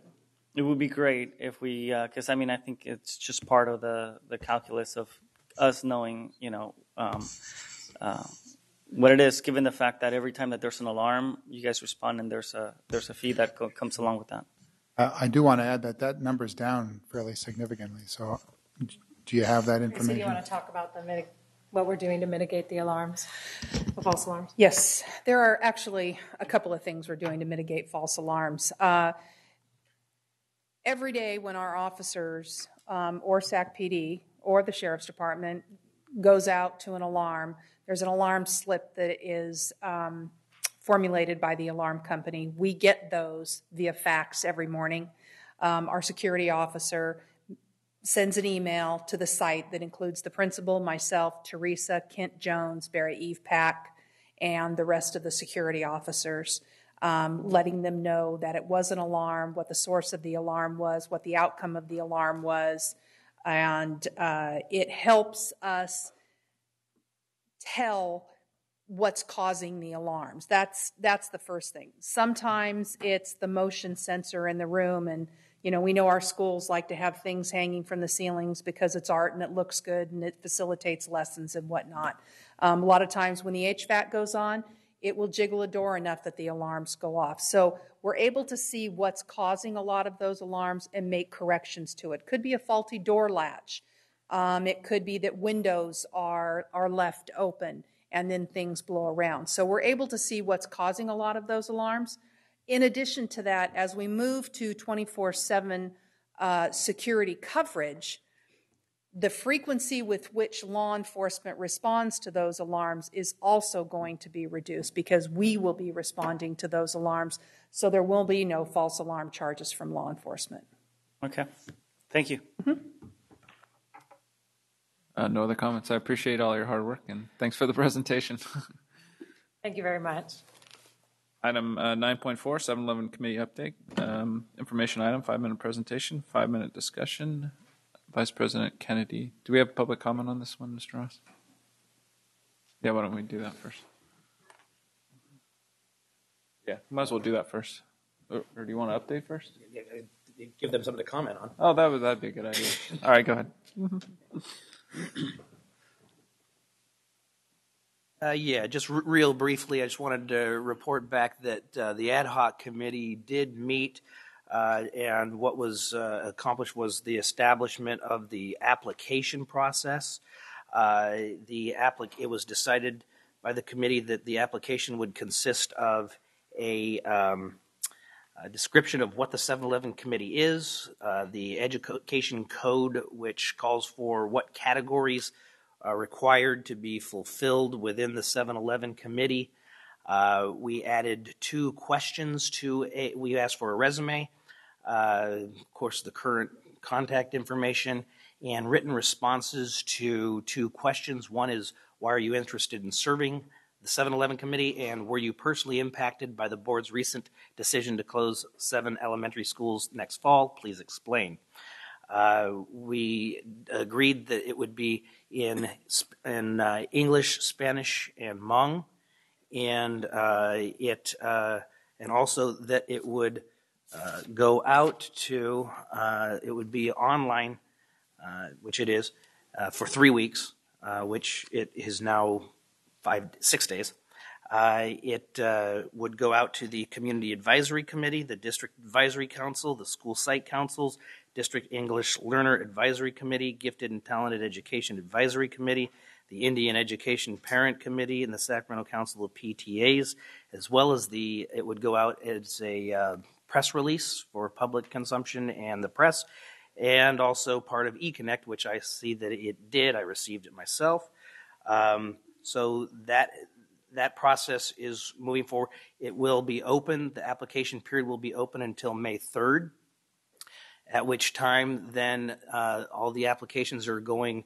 Um, you're welcome, Ms. Ferguson uh, is getting all of the applications and uh, will uh, then distribute them to the ad hoc committee members where we will uh, close ourselves away in a, in a, in a high mountain retreat very far away and come out with uh, the best committee that could ever possibly be established. But we're going to deliberate on uh, what will make up either the seven to 11 members uh, and make a proposal to the board, at which time it's up to the board to decide on the committee uh, makeup actual uh, itself.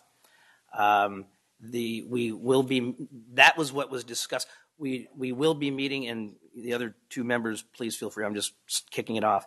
Um, next meetings will be. We, we expect that we will have a public meeting, publicly noticed our next meeting. Uh, this was the publicly noticed meeting for this process that I could actually get on anybody's calendars.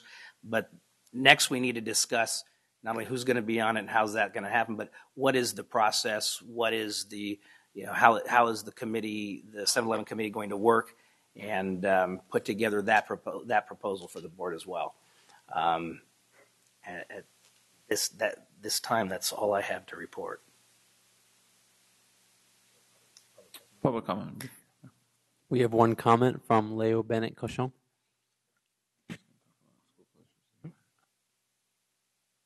Thank you, Patrick. Something for me to comment on. Uh, were there agendas and minutes? I wasn't clear, Patrick. Was there an agenda and minutes publicly available? Uh, there was there was not. There was not. There was not. But you're doing that in the future. Uh, this was the meeting. Yes, we are going Perfect. to have a publicly noticed meeting the next time. Yes. Thank you. All about improvement. Um, I won't worry about it as long as the thing doesn't. Anyway. Uh, Jeff, I've been quoting your words, and you're choosing not to respond. You have commented about the 7 Eleven committee, and I think it's critical that the public hear your vision and how your vision changed. Because your quote said that we were going to go to the community and that schools and neighborhoods are vital for one another, and that school closures negatively impact a committee. It's my perception, shared by many, that you've used your role as president to create basically a shock and awe campaign. You convinced the rest of the executive board, you got your fourth vote, and you're moving forward four to three. This is a very difficult area, and four to three votes don't build community. I would hope you would find the leadership to be clear about the vision so that the 7 Eleven committee is able to proceed in a way that adds value. These are closed schools if we're not able to change enough votes, and they still are hubs of community. There's no way that you're going to be able to move all the programs. None of these buildings that you're thinking to fill with students are vacant. They all have programs in them. And so, using some of these schools for their after school programs or early childhood, some way of keeping them a viable presence, I think would be an awesome thing for you to task your 7 Eleven committee to. I still don't understand why you decided, though, to close Joseph Bonheim, and I hope the 7 Eleven committee can address how schools with increasing enrollment that are cost effective end up. The previous 7 Eleven committee, and I'll wrap it up, had a 10 point proposal to evaluate. You've been quoted publicly as saying it's much better to just use capacity. I hope the new 7 Eleven committee is able to return us to a rational set of values that doesn't create these kinds of outcomes. Thank you. Board Member Rodriguez. Yes, I wanted to bring some clarity in terms of the meeting um, agreements that the um, 7 Eleven committee had um, agreed upon. Um, we did agree to meet on Tuesdays here at the Serna Center, um, beginning with, uh, I want to say it was April 2nd. However, due to um, staff not um, being available because of vacations and, and whatnot, um, we were unable to fulfill that um, that obligation that we had agreed upon. So, just for full transparency purposes, we did um, have every intention of meeting um, once in the public um, and noticing that meeting before this notice was put out into the public. so, I wanted to bring that bit of clarification out. we still do plan on meeting. Um, and I hope it is still on a Tuesday, um, as we had agreed at six o'clock at the here at the Serna Center. We thought it was um, important to ensure that we had a meeting, a consistent meeting day and time.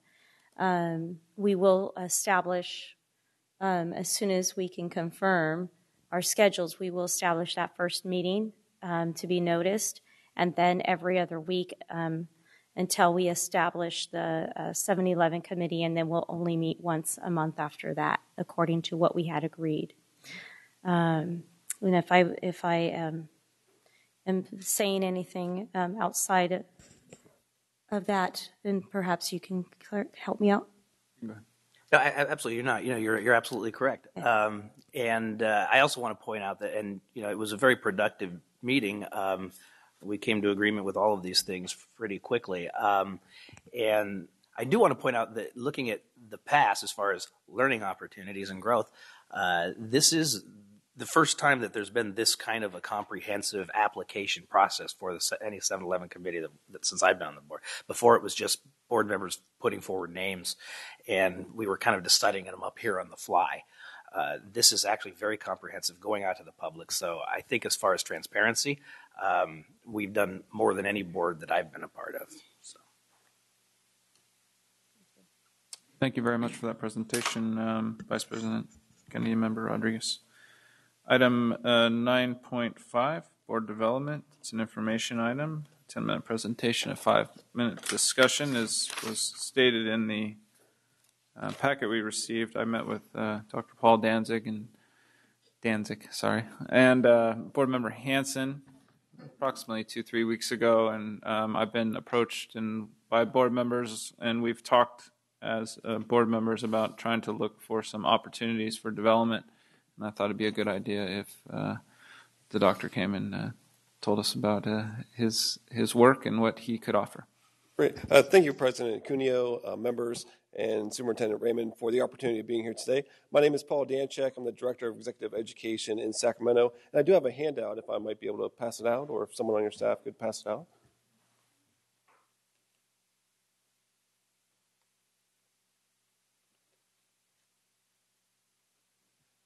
I want to do a couple things today, um, realizing that the time is getting late and want to be sensitive to your time as well. Um, just wanted to give you a brief overview of who we are, and I want to introduce my colleague at USC, uh, Dr. Bob Denhardt. Bob, would you like to introduce yourself? I'm Bob Denhardt. I'm professor of public administration at the Price School of Public Policy at the University of Southern California in the Sacramento Center. Um, and I've had long experience in leadership development and city council effectiveness facilitation. And um, we were asked to present some information about those topics, and Paul is going to do that. Before we get started, I just wanted to thank you for your dedication and service to our community. Um, I can only imagine how underappreciated your positions are at times. Um, I just wanted to let you know that you are appreciated by many of us within the community. So thank you for doing what you do. Say that again. do you want me to say it louder? Speak into the mic. Yeah. Sorry, is the mic on? And I'll second it. if you just came in every two weeks, just you know, like at the beginning, post, yeah, we would pay you just for that. sure, we'll be your cheerleaders. Yeah, I really appreciated the way that you designed the session today, the open session that is. Um, the first session this evening uh, began with the Men's Leadership Academy, and it really demonstrated two things I'm really passionate about: um, leadership programs, certainly, um, but also USC. I don't know if you saw USC in, in their background, um, but certainly um, that's where my biases lie.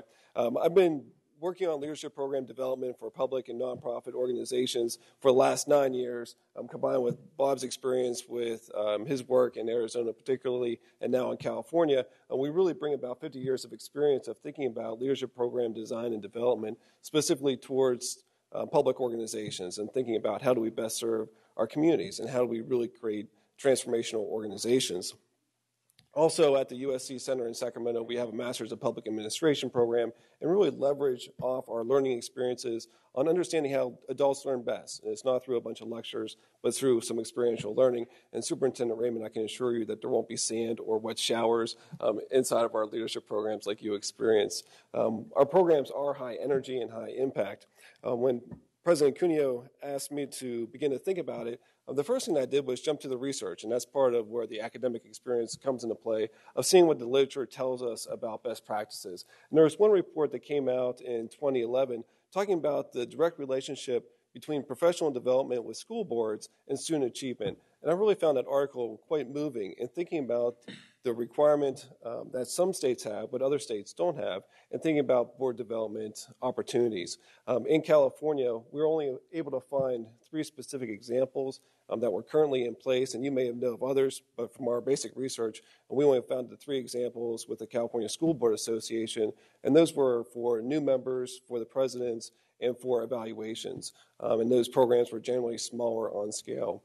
Where we see the best practices coming in with leadership program development is over a sustained period of time. So, thinking about building off of past experiences and really engaging in to facilitate conversation that changes our behaviors. Um, so, our program designs think about three different things. One is certainly an exchange of knowledge, but the, the, where we spend most of our energy is focused on shaping behaviors and changing attitudes. And how do we recognize that within ourselves? And how do we go back into our organizations and make a difference? And that's where we see the impact of our programs coming into play, of looking at these longitudinal studies with some of our long term programs, of knowing that our design makes sustainable impacts within organizations itself. We just want to throw that out as a possible opportunity for your, your board to consider um, as you're thinking about professional development opportunities um, that we have been in Sacramento since 1971. Um, not me personally, but the USC has. Um, but we continue to engage our community and be a resource for our community. And that's one of our main missions of being in the state capital. Um, with that, I'm happy to answer any questions that you might have or um, discussions that might ensue. Thank you. Sure. Member Artis, you have specific do we have a public comment, Mr. Ross? We have two comments on 9.5 from Leo Bennett-Cachon and Darlene Anderson.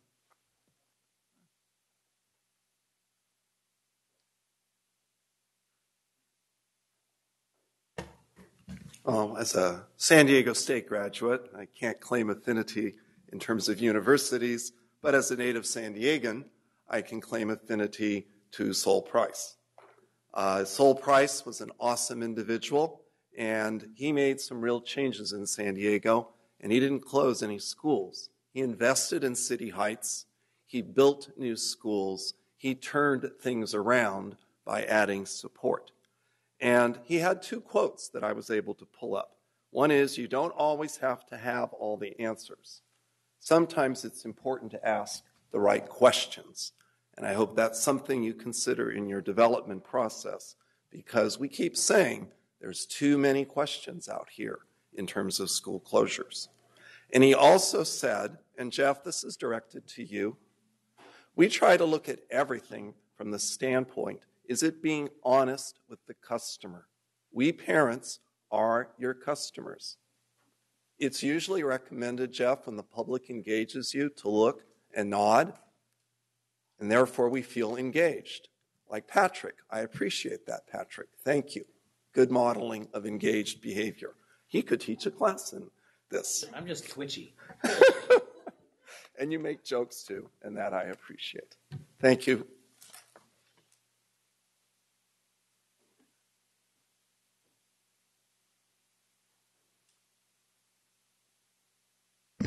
Darlene Anderson.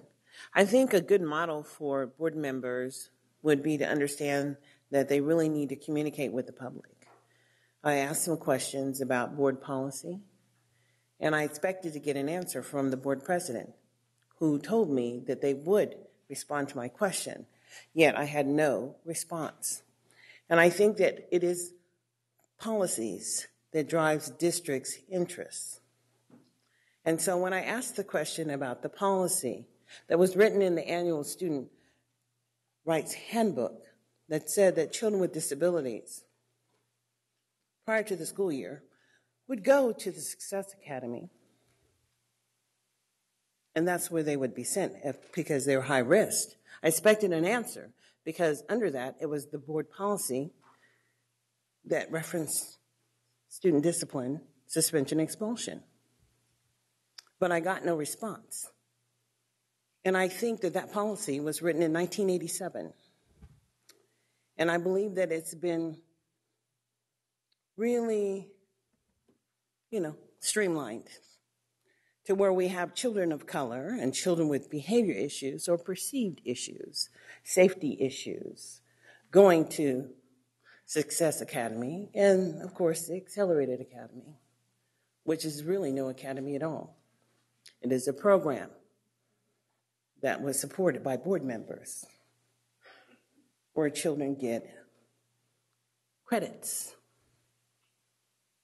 and they don't get social skills, yet they go to jail after high school graduation. I think the district needs to deal with the policies in this district that are hurting families in poverty. I think it is a conscious choice that we do not. And I think the district has a responsibility to understand myself and Leo Bennett also ran for school board. And I think that we have the kind of compassion for the public that needs to be sitting on that board and needs to be replacing some people who are sitting there now. Thank you. So, um, just to be clear, my intent to um, bring Paul forward um, was to just spark a discussion about whether this is a direction that the board wants to go in, uh, what makes sense, um, to try to find some consensus if there is some in going forward. I thought there was utility in board development um, and that it would, in the long run, assist us uh, to serve kids in, in, a better in a better way. Um, but I, I'm just looking for some feedback from my fellow board members um, about the direction they want to go in.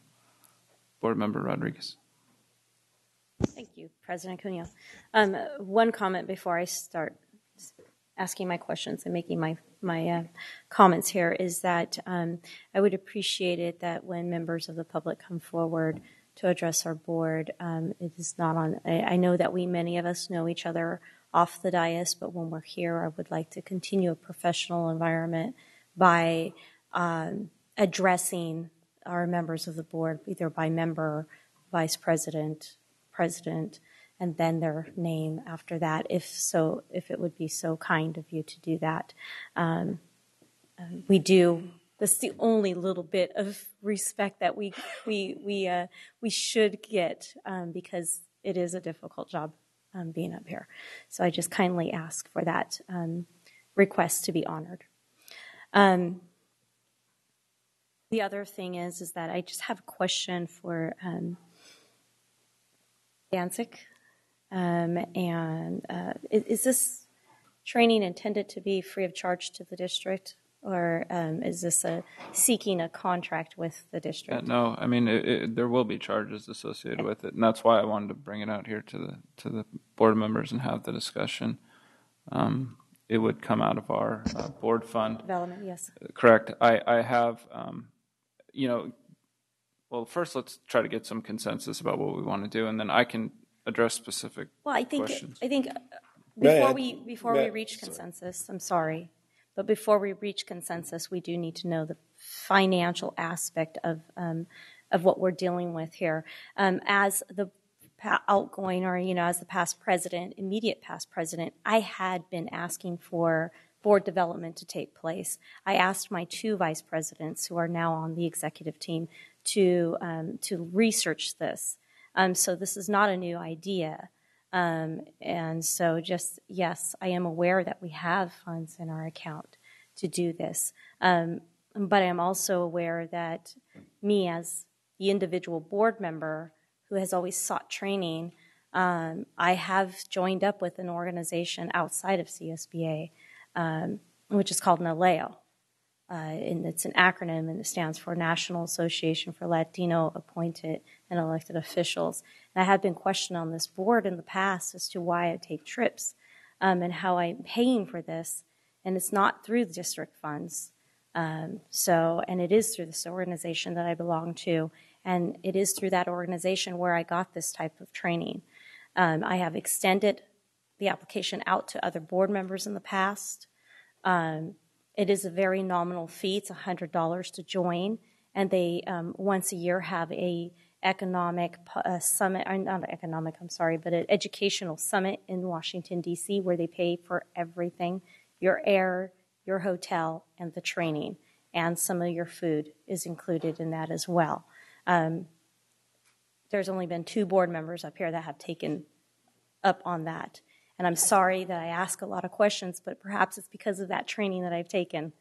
Um, so, um, I, as far as policy, I think it's great that we're going to be discussing policy in terms of how do we manage as a board and govern as a board. But when we're talking about that, I would like to also address this policy governance hybrid that we're calling coherent governance at the same time.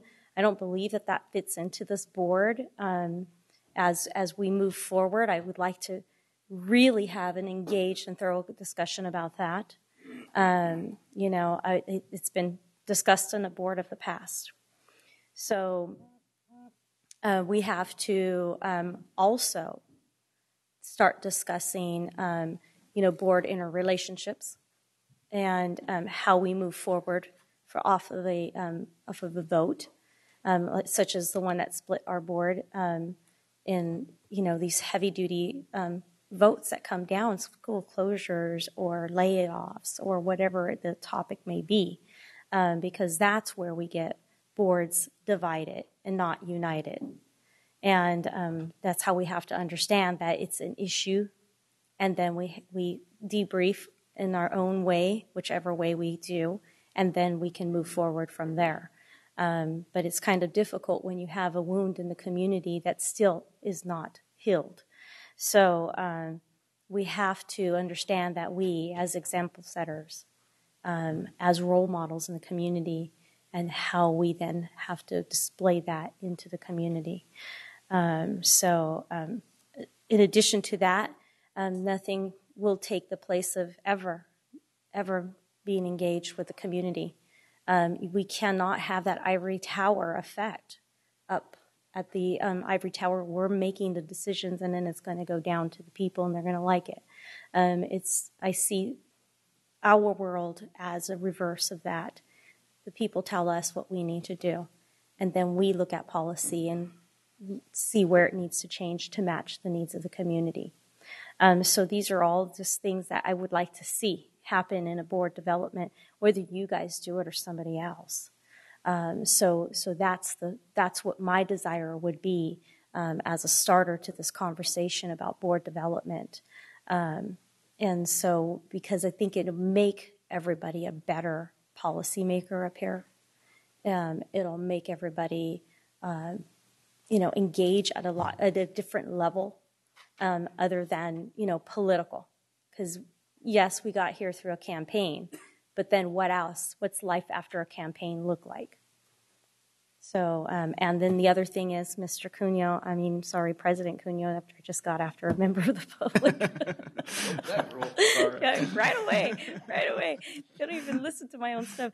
Um, President Cuneo, um, I would like to then open up, um, perhaps we can have um, a, workshop, like maybe a special meeting or something like that, where we bring in um, others who other vendors or others in the community who are interested in working with our board.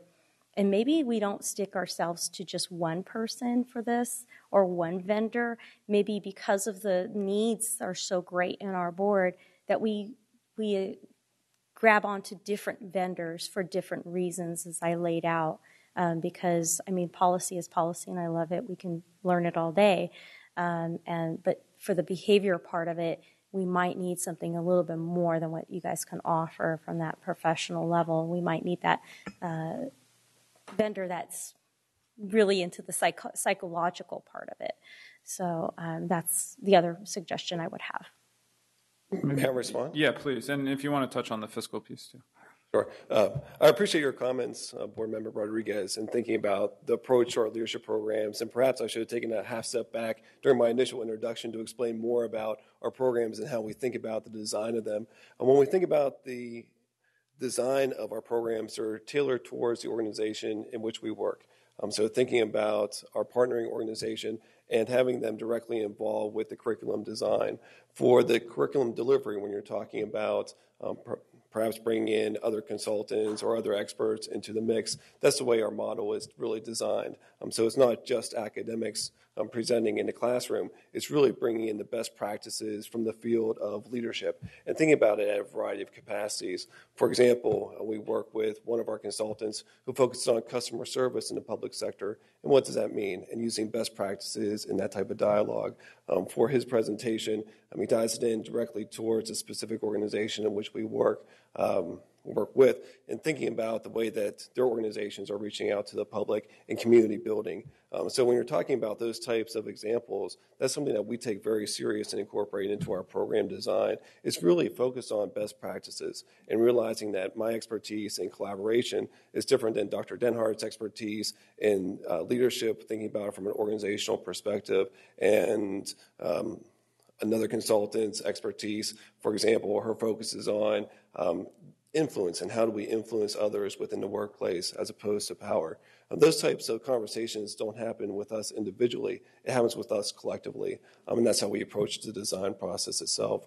And thinking about the models, and this ties into the fiscal question that you asked, uh, we didn't run numbers because we don't know what you're looking for. Um, once we have a better idea of what you're looking for, we can put together a budget for you, and certainly that would be something that we could provide um, as an example of what a leadership program might cost. Um, our rates are low for the region. So thinking about USC, uh, there's a certain stigma attached to the university itself. I'm thinking about Ivory Tower. But in Sacramento, we're very cost effective because we work with the public sector and nonprofit sectors, and we really want to make sure that we have the greatest impact for those organizations. Um, because of our design and our collective approach um, and our working with presenters on multiple programs, they present for us at a reduced cost, and you could provide for them if you hired with them directly. So there's that factor that comes into play too.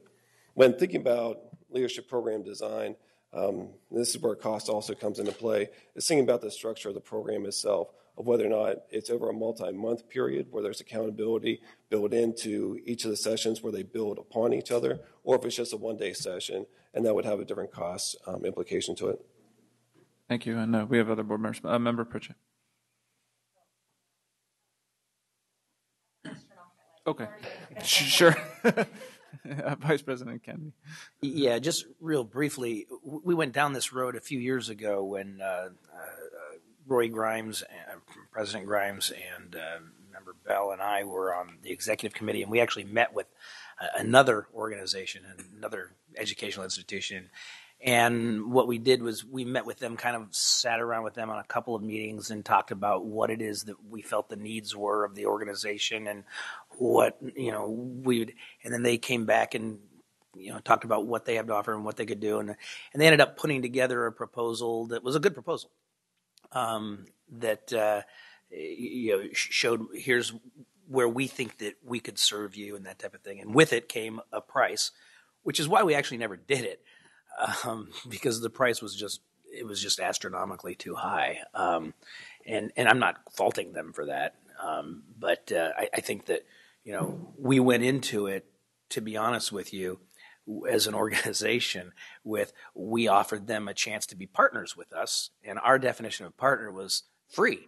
And um, I, I think that's certainly unreasonable uh, and so, you know, I welcome this because I think that, that any board, and this board is no different, uh, would benefit from this, whether it's your services or someone else's. So if we were to go down this, I mean, I wouldn't mind, you know, I, I'd love to see a proposal from you guys. I mean, your reputation, you know, precedes you. And so, uh, you know, I, I, th- I would welcome that opportunity, but others maybe as well, and look at the proposals and as a board decide what we think would fit our needs best and what's within the realms of our realistic ability as far as financially and all that.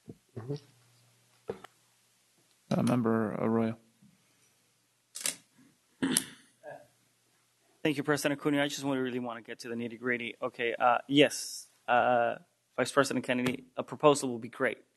Uh, I really want to get to the uh, point where we evaluate what you're presenting or what you're planning to cover. Uh, not, I, I guess a, an agenda would be too simple, but I guess a curriculum, I guess, of what the items you're planning to cover.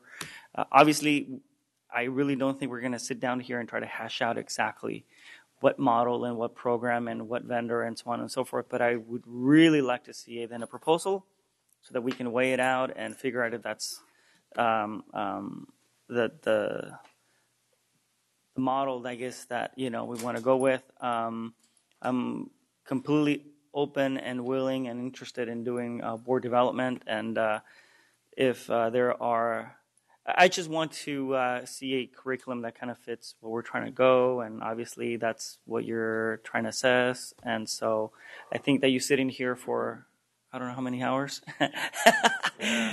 Maybe uh, agenda time management would. we're working somewhere in there. Um, nonetheless, um, we will. Uh, I, am I'm, I'm really interested in figuring out and uh, you not only yours but any uh, other uh, options. So I'll leave it at that. Thanks. May I respond? Oh, yeah, please feel free. One of the things that would be helpful from us and thinking about us as a potential deliverer of the leadership program itself is some parameters. And certainly that would be um, some sort of um, thing that you would consider when you're applying or sending it out to bid um, to other vendors as well is putting in some sort of parameter of what you're looking for, um, even if it's the time schedule. So if you know you have a certain deliverable or you're trying to hit a certain earmark at a certain point in time, um, to know how many days of programming um, you're thinking about as a board itself. And if there's financial numbers that you know that you can't hit above a certain number and you're willing to share that, that also helps shape the curriculum design as well. Um, so it's not working towards the number, but it's keeping it in consideration as we're designing the program itself. There's some factors that come into play, for example, of coaching, so individual coaching, um, and that would have a different cost structure than if we just had a group presentation. Um, so knowing what type of uh, program that you're looking for um, would be helpful. Thank you. And, and I was going to say this uh, half jokingly, but I'm actually kind of serious in the sense that uh, vendors or people that might be interested in, in getting our business. I thought it as a joke at first, you know, given the fact that you've been here for so long. But I think that the essence of asking a, a somebody to sit here and watch the board dynamic for, for an evening uh, will probably give you a very good insight as far as um, you know what kind of range of uh, uh, topics we could probably cover or, or, benefit from. I mean, as I said, it, it, it was going to be a joke at first, huh? or, ba- or, or withdraw their bid. Yeah. yeah. But nonetheless, it's it's something to consider, and uh, I, am very much looking forward to uh, hearing back from you guys and uh, anybody else. Thank we you. have been taking notes this evening. I was just going to say that Member Kennedy's um, recollection of the past process strikes me as a good one. Uh, that is the chance to sit down with council members or board members and talk about what you're interested in achieving as really the first step that we would want to take. And indeed, to go back in the other direction, you're issuing an RFP for board development would probably be the way to solicit something from us or something from other vendors. And so you might think about that approach as well. I'd like to interrupt. Uh, we need to uh, like to make a motion to extend the time of the meeting uh, until ten forty-five. I'll second. I'll You should do 11. I just did safe- ten forty-five. I'll second. Um, all in favor of extending the meeting till 10:45? Aye. Aye. Opposed? Abstentions? Okay. How many Uh, public comments do we have on the next item? Well, let's keep talking about this. M- Member Hansen. You, you held up a lot in, in Member 15 minutes. Hansen. Oh, okay. Member August, please. Well, I wa- I wanted to say thank you for being here for four hours and waiting patiently for your turn. Uh, I I know that that was a valuable uh, a valuable assessment of taking a look at board dynamics. Obviously, every board is different. I know you've got a lot of experience working with different boards and the state legislatures and you know all the different things that USC does. Uh, and I think that we would benefit um, well from that. And I think it'd be a valuable investment for the school district and for the students and the parents and the taxpayers of the district. Um, just you know, for myself at the California Medical Association, we had a long uh, six-day session with our top 25 staff uh, over the course of three months. We did two, you know, three two-day sessions, and it made a gigantic difference in the operation of our association and the camaraderie that we, you know, identified and trying to find common goals. I think that would be, you know, very valuable for us to look at doing something like that, you know, regardless of the of who we choose. You know, these folks obviously are very, very reputable, but to be able to do that with the board and senior staff, I think would be very valuable. And you know, I appreciate you making the presentation, and um, I hope that we consider it. And I'd love to talk about it, and I think it'd be something worth putting an RFP out for. Uh, Member Rodriguez.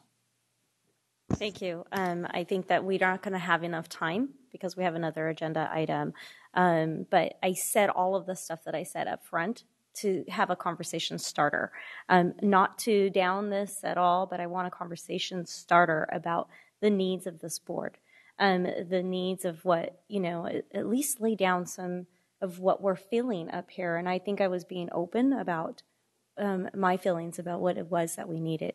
Um, I would then ask now our um, board president to bring back an agenda item just to discuss board development, what it is that we want. These conversations need to happen in public. Um, and so let's bring it back. Let's talk about what it is that we want. Um, I was hoping that we were going to have that conversation right now, but I guess not. Um, so, and then we can get to the RFP, RFP respond. process and whatnot. I don't. I don't see the benefit of having the discussion in a vacuum. We need. We need to know what can be offered, um, and then have the discussion of whether it fits the needs of what we want. So to just simply talk about abstractly where we think we're weak or strong, I don't think makes a ton of sense. I think what you want to see is an RFP process where people come to us and say, "This is what we can offer." And then I would come back to the board and say, okay, this is what I have. What, do you, what does the board want to do? How does it meet the needs of the board? I, think that's the smartest way to go. Mm, I think you kind of you you need to guide your RFP responders um, somewhat somehow. You need to develop some type of guiding principle, um, and and I think we we should bring it back for more conversation um, before we put it out there for an RFP. Um, I don't want to talk this issue to death. I mean, I, you know, I, I- I understand we have differences of opinion up here on things. Yeah. So uh, go ahead. No, Member- no, I- member quick, Arroyo. quick question. Just a very quick question. So, what would help you? Would it help uh, have some kind of opinion, even from the executive committee or the entire board, give you some direction, some parameters? You mentioned that earlier. I mean, so I would be, uh, what I hear from the board is this is something we want to do. We're interested. So what I was going to do is take the next steps. Either I can do an RFP. I have no problem doing an RFP. I also would, I could sit down with Paul and his team and bring forward whatever options they give us and have the board discuss the options, adopt one, or outright reject all of any of them. Would it would it help you to get some feedback prior to the RFP being put together? Uh, You're asking, I'm Wait, wait, sorry. wait, let him answer the question. I'm, I'm sorry, but this is this is actually feeling very Rodriguez. uncomfortable to me right now because we're asking one vendor and we're Member giving one vendor you're- the let him- advantage. Let him answer the I'm, question. I'm really sorry. This is very illegal to do right now. Uh, Let me respond from uh, a provider's perspective and taking USC out of it. Um, when I'm looking at RS, RFPs, and, and Bob and I do this quite a bit of thinking about um, RFPs that come across our desk and things that we apply for and things that we don't apply for. The things that we look for are basic things that I think the board um, could help provide guidance on. For example, um, who would be part of the training? So thinking about whether it's just the executive committee or whether it's the council and the senior team of staff members that are part of it. Knowing that type of structure is helpful in responding to an RFP and thinking about what a leadership program might look like. Um, knowing who the audience is, uh, knowing the time frame would be helpful. Uh, whether it's a one-day type of event, whether it's multi-day events, may whether it's over a series of a certain number of months, um, that type of information is helpful in the RFP process um, to get us started. And thinking about responses, um, and sometimes um, those types of proposals, that's enough information for us as experts to be able to respond and say, well, our experience with board development has been X, Y, and Z, and this is what we can provide given those parameters that you gave to us. Um, so even thinking about it in a broader perspective, so not as USC as one vendor, but putting it out into a larger RFP process, knowing what some of those structural components are would be helpful. So, uh, bottom line is, I hear uh, an answer that includes both President Cuneo's and uh, Board Member Rodriguez's points, all included all in one. And my only suggestion is a conversation on the side between the two, meeting of the minds, and then we move forward. Yeah. Oh, yeah. Okay. Yeah, I just I, I, think that what I would like to recommend is that uh, we go forward with an RFP, um, and let's be careful about throwing the word illegal around because it's not, and that that has le- legal consequence. Um, but we go forward with an RFP, and within that RFP, and this happens all the time, when people respond to RFPs, they have an opportunity to meet with those that send out the RFP in order to better reply to it. Uh, within that RFP, uh, there'd be an opportunity for any uh, one that wants to bid on this project uh, to meet with two or three board members. I would certainly recommend that it be, uh, at the very least, President Cuneo and Member Rodriguez, um, and uh, in order to better flesh out what the proposal will be. You can't make a proposal in the dark. Um, you have a pretty good idea of your expertise and what you've seen tonight, but that's not good enough. So you need more, and so does anyone else who would bid on it. But an RFP that would do that, I, I would recommend that this be put on a. This is an information item. We can't do anything tonight anyway and that a process like that be outlined and be put on a future, uh, near future agenda as a as an action item to adopt the process and the RFP. And, and I would commit to working with Member Rodriguez on the issue. So I, I would be happy to sit down and, and develop uh, more guidelines along the lines of uh, Member Arroyo's suggestion. Thank you. Great, I thank you. appreciate all your time and, and waiting. We'll go back and take some more notes. all right. Uh, 9.6, coherent governance operational expectations. 9, OE9, communicating with the public monitoring report. It's a conference and action item. Superintendent Raymond. Thank you, President Cuneo. I refer to the summary that's in the board packet, coherent governance policy, operational expectations 9, OE9, communicating with the public. And I will um, uh, entertain any questions that board members may have about the, the report that's been put together, as well as the accompanying documents as supporting evidence. Please, Ms. Ross. We have three public comments on 9.6 from Leo Bennett Cochon, Darlene Anderson, and Terrence Gladney. If we're going to get formal, I'm community member Bennett Cochon, and I prefer trustee. So I'm going to call you Trustee Rodriguez. Um, I'm here to address strategic two way dialogue. My training is public administration, and you heard a comment earlier about how some of us are upset. And my training in public administration says that that's a comment to take critically. Because in an organization that's people driven and that's loosely coupled, a small number that are upset, even if we are wrong, undermines where we're trying to go. And that's why we need strategic two way dialogue. So, no disrespect, Superintendent Raymond, but the pieces that were shared for Washington are propaganda. Capacity that represents 14 permanent buildings and 10 portables without the useful life, and you look over the enrollment, that capacity's never been touched. What's that say for a design element except to try to illustrate, oh, it's way under capacity? It's not connected to reality. It is not a two way dialogue.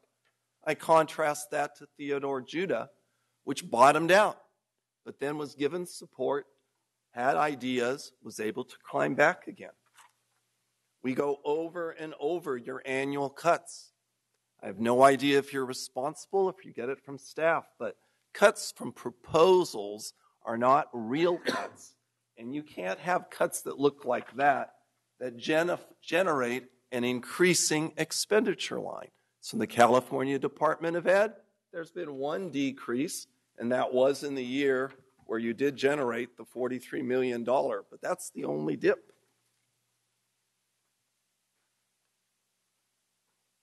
The budget's going to have to be balanced.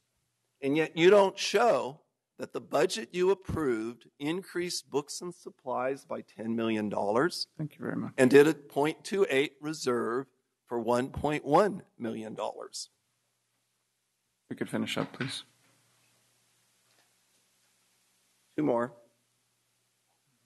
You state that Proposition 30 saved us this year. Emphasis, bold. Later on, not at Washington, you'll let us know that Proposition 30 also gave us 10 million for the coming year. We can finish, please. Yeah, just the last one. You're over the two minutes, sir. Yeah, I can have three minutes with Kevin Johnson, so hopefully now and then I could have two here. but anyway, um, it states the class sizes remain this. I mean, sorry, uh, fewer split classes, and yet there's only one of the schools that are being closed that has closed uh, split classes, six of them. Everybody else has zero or one. Thank you for your patience. Appreciate it.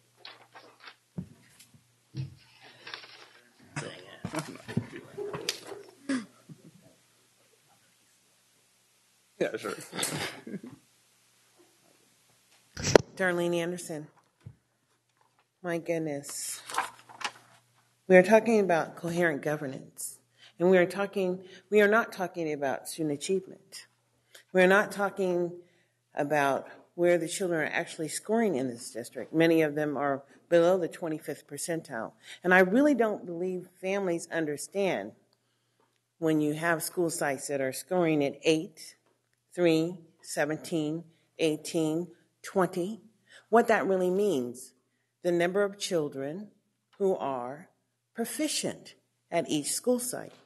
I think when board members get on this board, they look at the glamour of holding a public office and they promise their friends contracts. Therefore, people can come up and do presentations, the one like we just heard, which reminds me somewhat of mafia type behavior because board members get on here and say what they're going to do, and they vote four to three. And guess what? The public gets screwed. They don't care if your baby has to get up at five o'clock in the morning to get on a bus because they're right.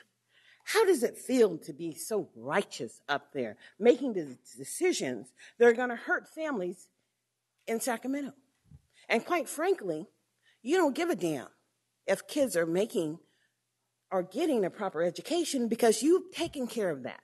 You've ensured that kids are going to get a piece of paper that said that they got a high school diploma when they can't even get a job in Sacramento. People left Sacramento more than 20 years ago for uh, opening position jobs simply because Sacramento was not graduating kids at the level to put kids into opening job levels. I mean, that happened from the Department of Commerce, but you don't have the Department of Commerce in here talking about job development. No, you don't partner with anybody except for yourselves. I think the problem is that we don't have enough community members involved in the public education. They are not your partners to the extent where you are opening up the doors and allowing up, them please. to see student achievement. And I think that it is accountability that we are looking for. And I think the, I think the public has a right to have board members that oversee the public trust. And I think that you really need to understand that the public trust is trusting your children in the hands of people who are going to ensure they give them a proper education. And I do not mean giving contracts to contractors in no manner. If we could And I up, please. understand you understand where I'm coming from. None of this But- has to do with OE9, man. Pardon me? Nothing that you said has to do with OE9, so could we finish up, please? Nothing has to do. We're on coherent governance nine. Oh, I understand coherent governance. That's what you guys established. I didn't establish that. We're talking about student achievement. We're talking about how children and families are doing, and you're looking at how the superintendent actually is documenting the value. And that's what I'm saying. Well, governance is overseeing policies, right? Policies implemented to educate children in this district. And that's what I'm talking about. You may not be talking about it, but I am. Thank you and have a good evening.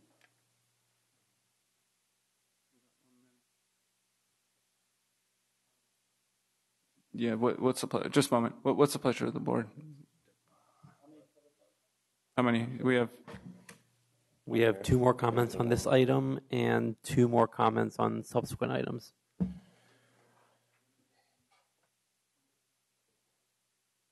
you want to make the motion?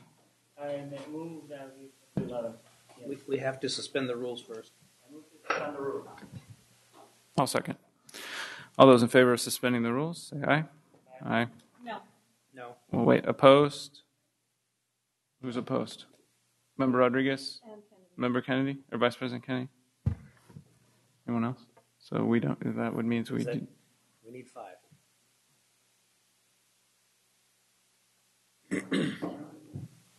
Mr. Board Member Hansen, Pritchett, do you vote to suspend the rules? Okay. Vice President Woo? Okay. Then uh, all those, and then I'll move to 11, 11 p.m. 11 p.m. Okay. Second. All, all those in favor of 11 p.m.? Aye. Aye. Opposed? Okay. Please go ahead. Go ahead. Oh, okay. Terrence Gladney. Um, I just wanted to speak to the process. Um, this whole process of self-evaluation, I mean, it's akin to a student only submitting their best work or, you know, a basketball player only counting the shots that are made. You know, I, I don't think that that's the education that we would want for our kids. I don't think that that is a sporting event that we would like to watch, you know, where everything is successful. Um, I think that you know we, we understand that you know true growth and true learning comes through you know recognizing and, and, and growing from the challenges that we face, and you know I think that that's a problem if that's the way that you guys are as a board are going to evaluate the performance of you know the, the district. You know that being said, um, you know I, I think that the district has an opportunity, even though you know by no fault of their own, this is what you guys are allowing them to do you know, I think that organizational transformation, you know, would be, you know, to take it a step further and say that although these are the things that we're accountable for, even though there's no metrics to say, okay, you know, this many people were communicated with, you know, what are the metrics you guys are looking for? A 90% response rate or just that communication went out? You know, two-way communication means what was the response to the communication that went out? And I don't see that in this report. Um, I do see a lot of one-way communication, you know, telling parents what I guess, is perceived to be what they want to hear. Um, you know, what the capacity numbers are, um, you know, what's going to be on the superintendent's agenda. You know, but what's not here is, you know, some really good two-way communication that has existed, you know, between PTA and, and between parents. But, you know, what's also not here is the challenges. And, and I think it would be a great opportunity to include some of those, you know, how those challenges were faced, how they were overcome, because they're lessons for all of us, you know, how we can better work together. But if it's just going to be, hey, this is what we did, you know, let's paint a rosy picture. We know that's not the case.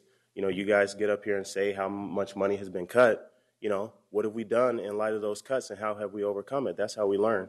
So I would like to see a more comprehensive report to reflect the communication that goes on between uh, the district and stakeholders. Thank you. Our final comment is from Jessica Arriaga. Good evening, board members. I'm sure you're glad to hear it's the final comment, right? Um, I just wanted to let you know, as board members and superintendent, you you guys lead the examples of communication. It is it is critical that the public gets the correct information timely and efficiently. And when a parent or a school site asks question after question after question, and, and those questions started when the school closure started, and we are no closer to having any of those answers. I, I, at the last transition meeting, I specifically indicated the next meeting.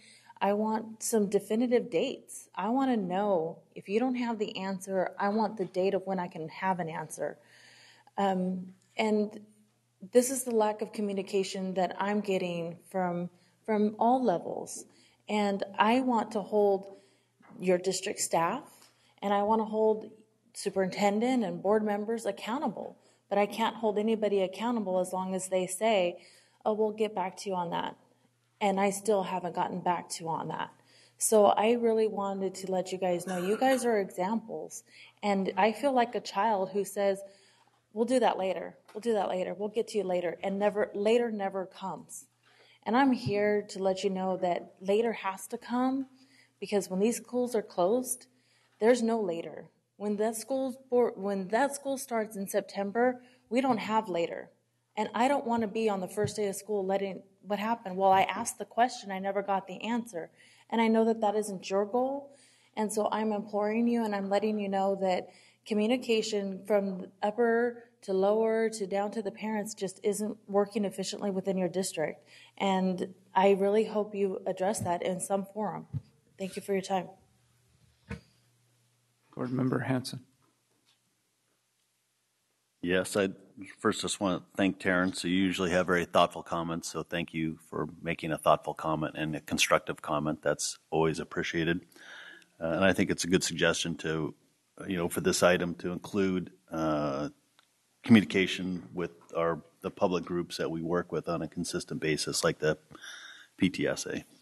Um, I guess you know part of when I'm thinking about communicating with the public, uh, maybe we haven't done a good enough job because we haven't talked about some incredible things that have happened. And if none of the speakers who are here uh, mentioned that our chronic absence rate, which was just noticed just a, a week ago, dropped from 18% to 11.5%. That's a 33% decrease in one year. That's remarkable. Or that our graduation rates are now 79.8% we increased 5.2%, the largest increase in the entire region, and we're now above the statewide average. Is that good enough? No. We got to keep going, keep going places, but we've seen some tremendous growth. So, you know, I like talking about positive things, so I'm going to mention that. Those are very positive notes. Uh, a couple days ago, I went to McClatchy High School and got to spend uh, a couple hours there during the day, and I saw their meeting of their Law and Public Policy Academy and they had over 30 mentors from the community where they are donating their time, individually mentoring the students and talking to them about what kind of jobs they want to do in the future. Over 30 people that were lawyers, judges, other folks giving their time to the students. They did a great job. I was very proud to see that. That was wonderful. Um, another very positive thing actual people in the community, actual parents, you know, students that are growing and doing excellent things. So, congratulations to the district for that. And uh, then just today, I went to Leataata Floyd and joined them on a home visit to actually go meet with parents, with the teacher, to talk with, uh, you know, meet their students in their own home, talk about what their hopes and dreams are for their student, what the students' hopes and dreams are. It was a really transformative experience for me. So, once again, I appreciate that and uh, want to talk about the good things the district's doing. And when I talk to parents out in the community, they tell me about the good things that are happening. So, that's wonderful. I know some of the people that seem to be our, our primary three or four speakers here on every item don't always see eye to eye like that, but that's why I need to go out into the community and actually meet other folks to see what's happening. Helps keep me positive and uh, grounded and know that I'm doing things the right way and our district's moving and doing positive things. So I want to compliment that. There's always things we can do better, and I like hearing constructive criticism that gives us some good direction, and that's what I'd encourage uh, when folks are going to you know, invest their time and ours in the comments. And uh, I hope that that's the direction we go in. So I know this is on coherent government and communicating with the public. So that's the kind of stuff that I, would like to see happening and keep communicating with the public. Thank you. Member, no, yes, Member Pritchett. I just wanted to also mention that uh, President Cuneo and I have been uh, talking about possibly having a board rep on parent groups, such as the SAC Council PTA as well, um, to keep that that conversation going with our parent groups. Um, yes, I, I'll, I'll say two, a couple things. Um, I, I think I'll take the points that uh, Terrence made. Uh, I think it's very difficult to measure authentic engagement. It's a very kind of nebulous thing that depends upon a lot of different factors, right? And it's a two way conversation that's very hard to kind of pinpoint the quality of. But I take your comments. I thought they were very good comments. Um, the second thing, though, about you know measuring, I, I mean, it's our job to measure how he does. I, I don't think it's a, a you know, chicken ruling the henhouse sort of thing. I, I mean, he presents his case of why he thinks he has met or exceeded the objectives that we set down for him, and, and we judge him on it, um, just like we do on everything. So, um, but for what it's worth, uh, I, I, do think authentic engagement is is the um, idea that we're after, and, and how we get there is is a is a difficult um, difficult conversation, but one that needs to happen. So I will move um, the item from conference to action. Second. We have a second by Vice President Kennedy. All those in favor? Aye. Opposed? Aye. You're opposed? Okay. Opposed, um, Member Arroyo. Um, abstentions? We have uh, Member Rodriguez absent. I will move um, the item that uh, OE 9 is in compliance. Second by Vice President Kennedy. All those in favor? Aye. Opposed? No opposed? Do you want to be opposed to the action item as well? Yes. Okay. Opposed? no, I thought you did. Member Arroyo, I know it's late. Uh, Member Arroyo is opposed. Uh, abstentions? None. Absent is Member Rodriguez. Um, item, sorry, I lost my agenda. Item 10. Zero business and financial information. We have a public comment. Comment on 10.1 from Leo Bennett Cochon. Yield back my time because of my death. Item 11.0. Mr. Bennett Cochon, are you going to yield back this time as well? Or? Wish I could. but I'll stay under the two. This was actually for Trustee Rodriguez, but she had brought up about Washington and so these are just general comments since I've been here more than you guys sometimes in the years past. But we used to have somebody on the board who would write down questions from the public and then get answers back to us. And that was a good process in terms of two way engagement. And then also requests for agenda items had a, a sheet they were written on and it got reported back. And so just those are thoughts that I thought from the past help this process flow so that we don't drop things and feel like, why did that get said and then didn't get covered? So it used to be a vice president's job, second vice president, I think, Terry. Memory. Is that why it went away? Thank you.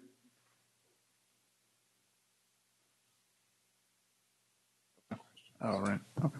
Um, uh, item 11.0, future board meetings, May 2nd, 2013, 4.30 p.m. closed session, 6.30 p.m. open session here at the Serna Center, May 16th. 4:30 p.m. closed session, 6:30 p.m. open session here at the Serna Center. Do we have a motion to adjourn? Motion to adjourn by student member Yee, a second by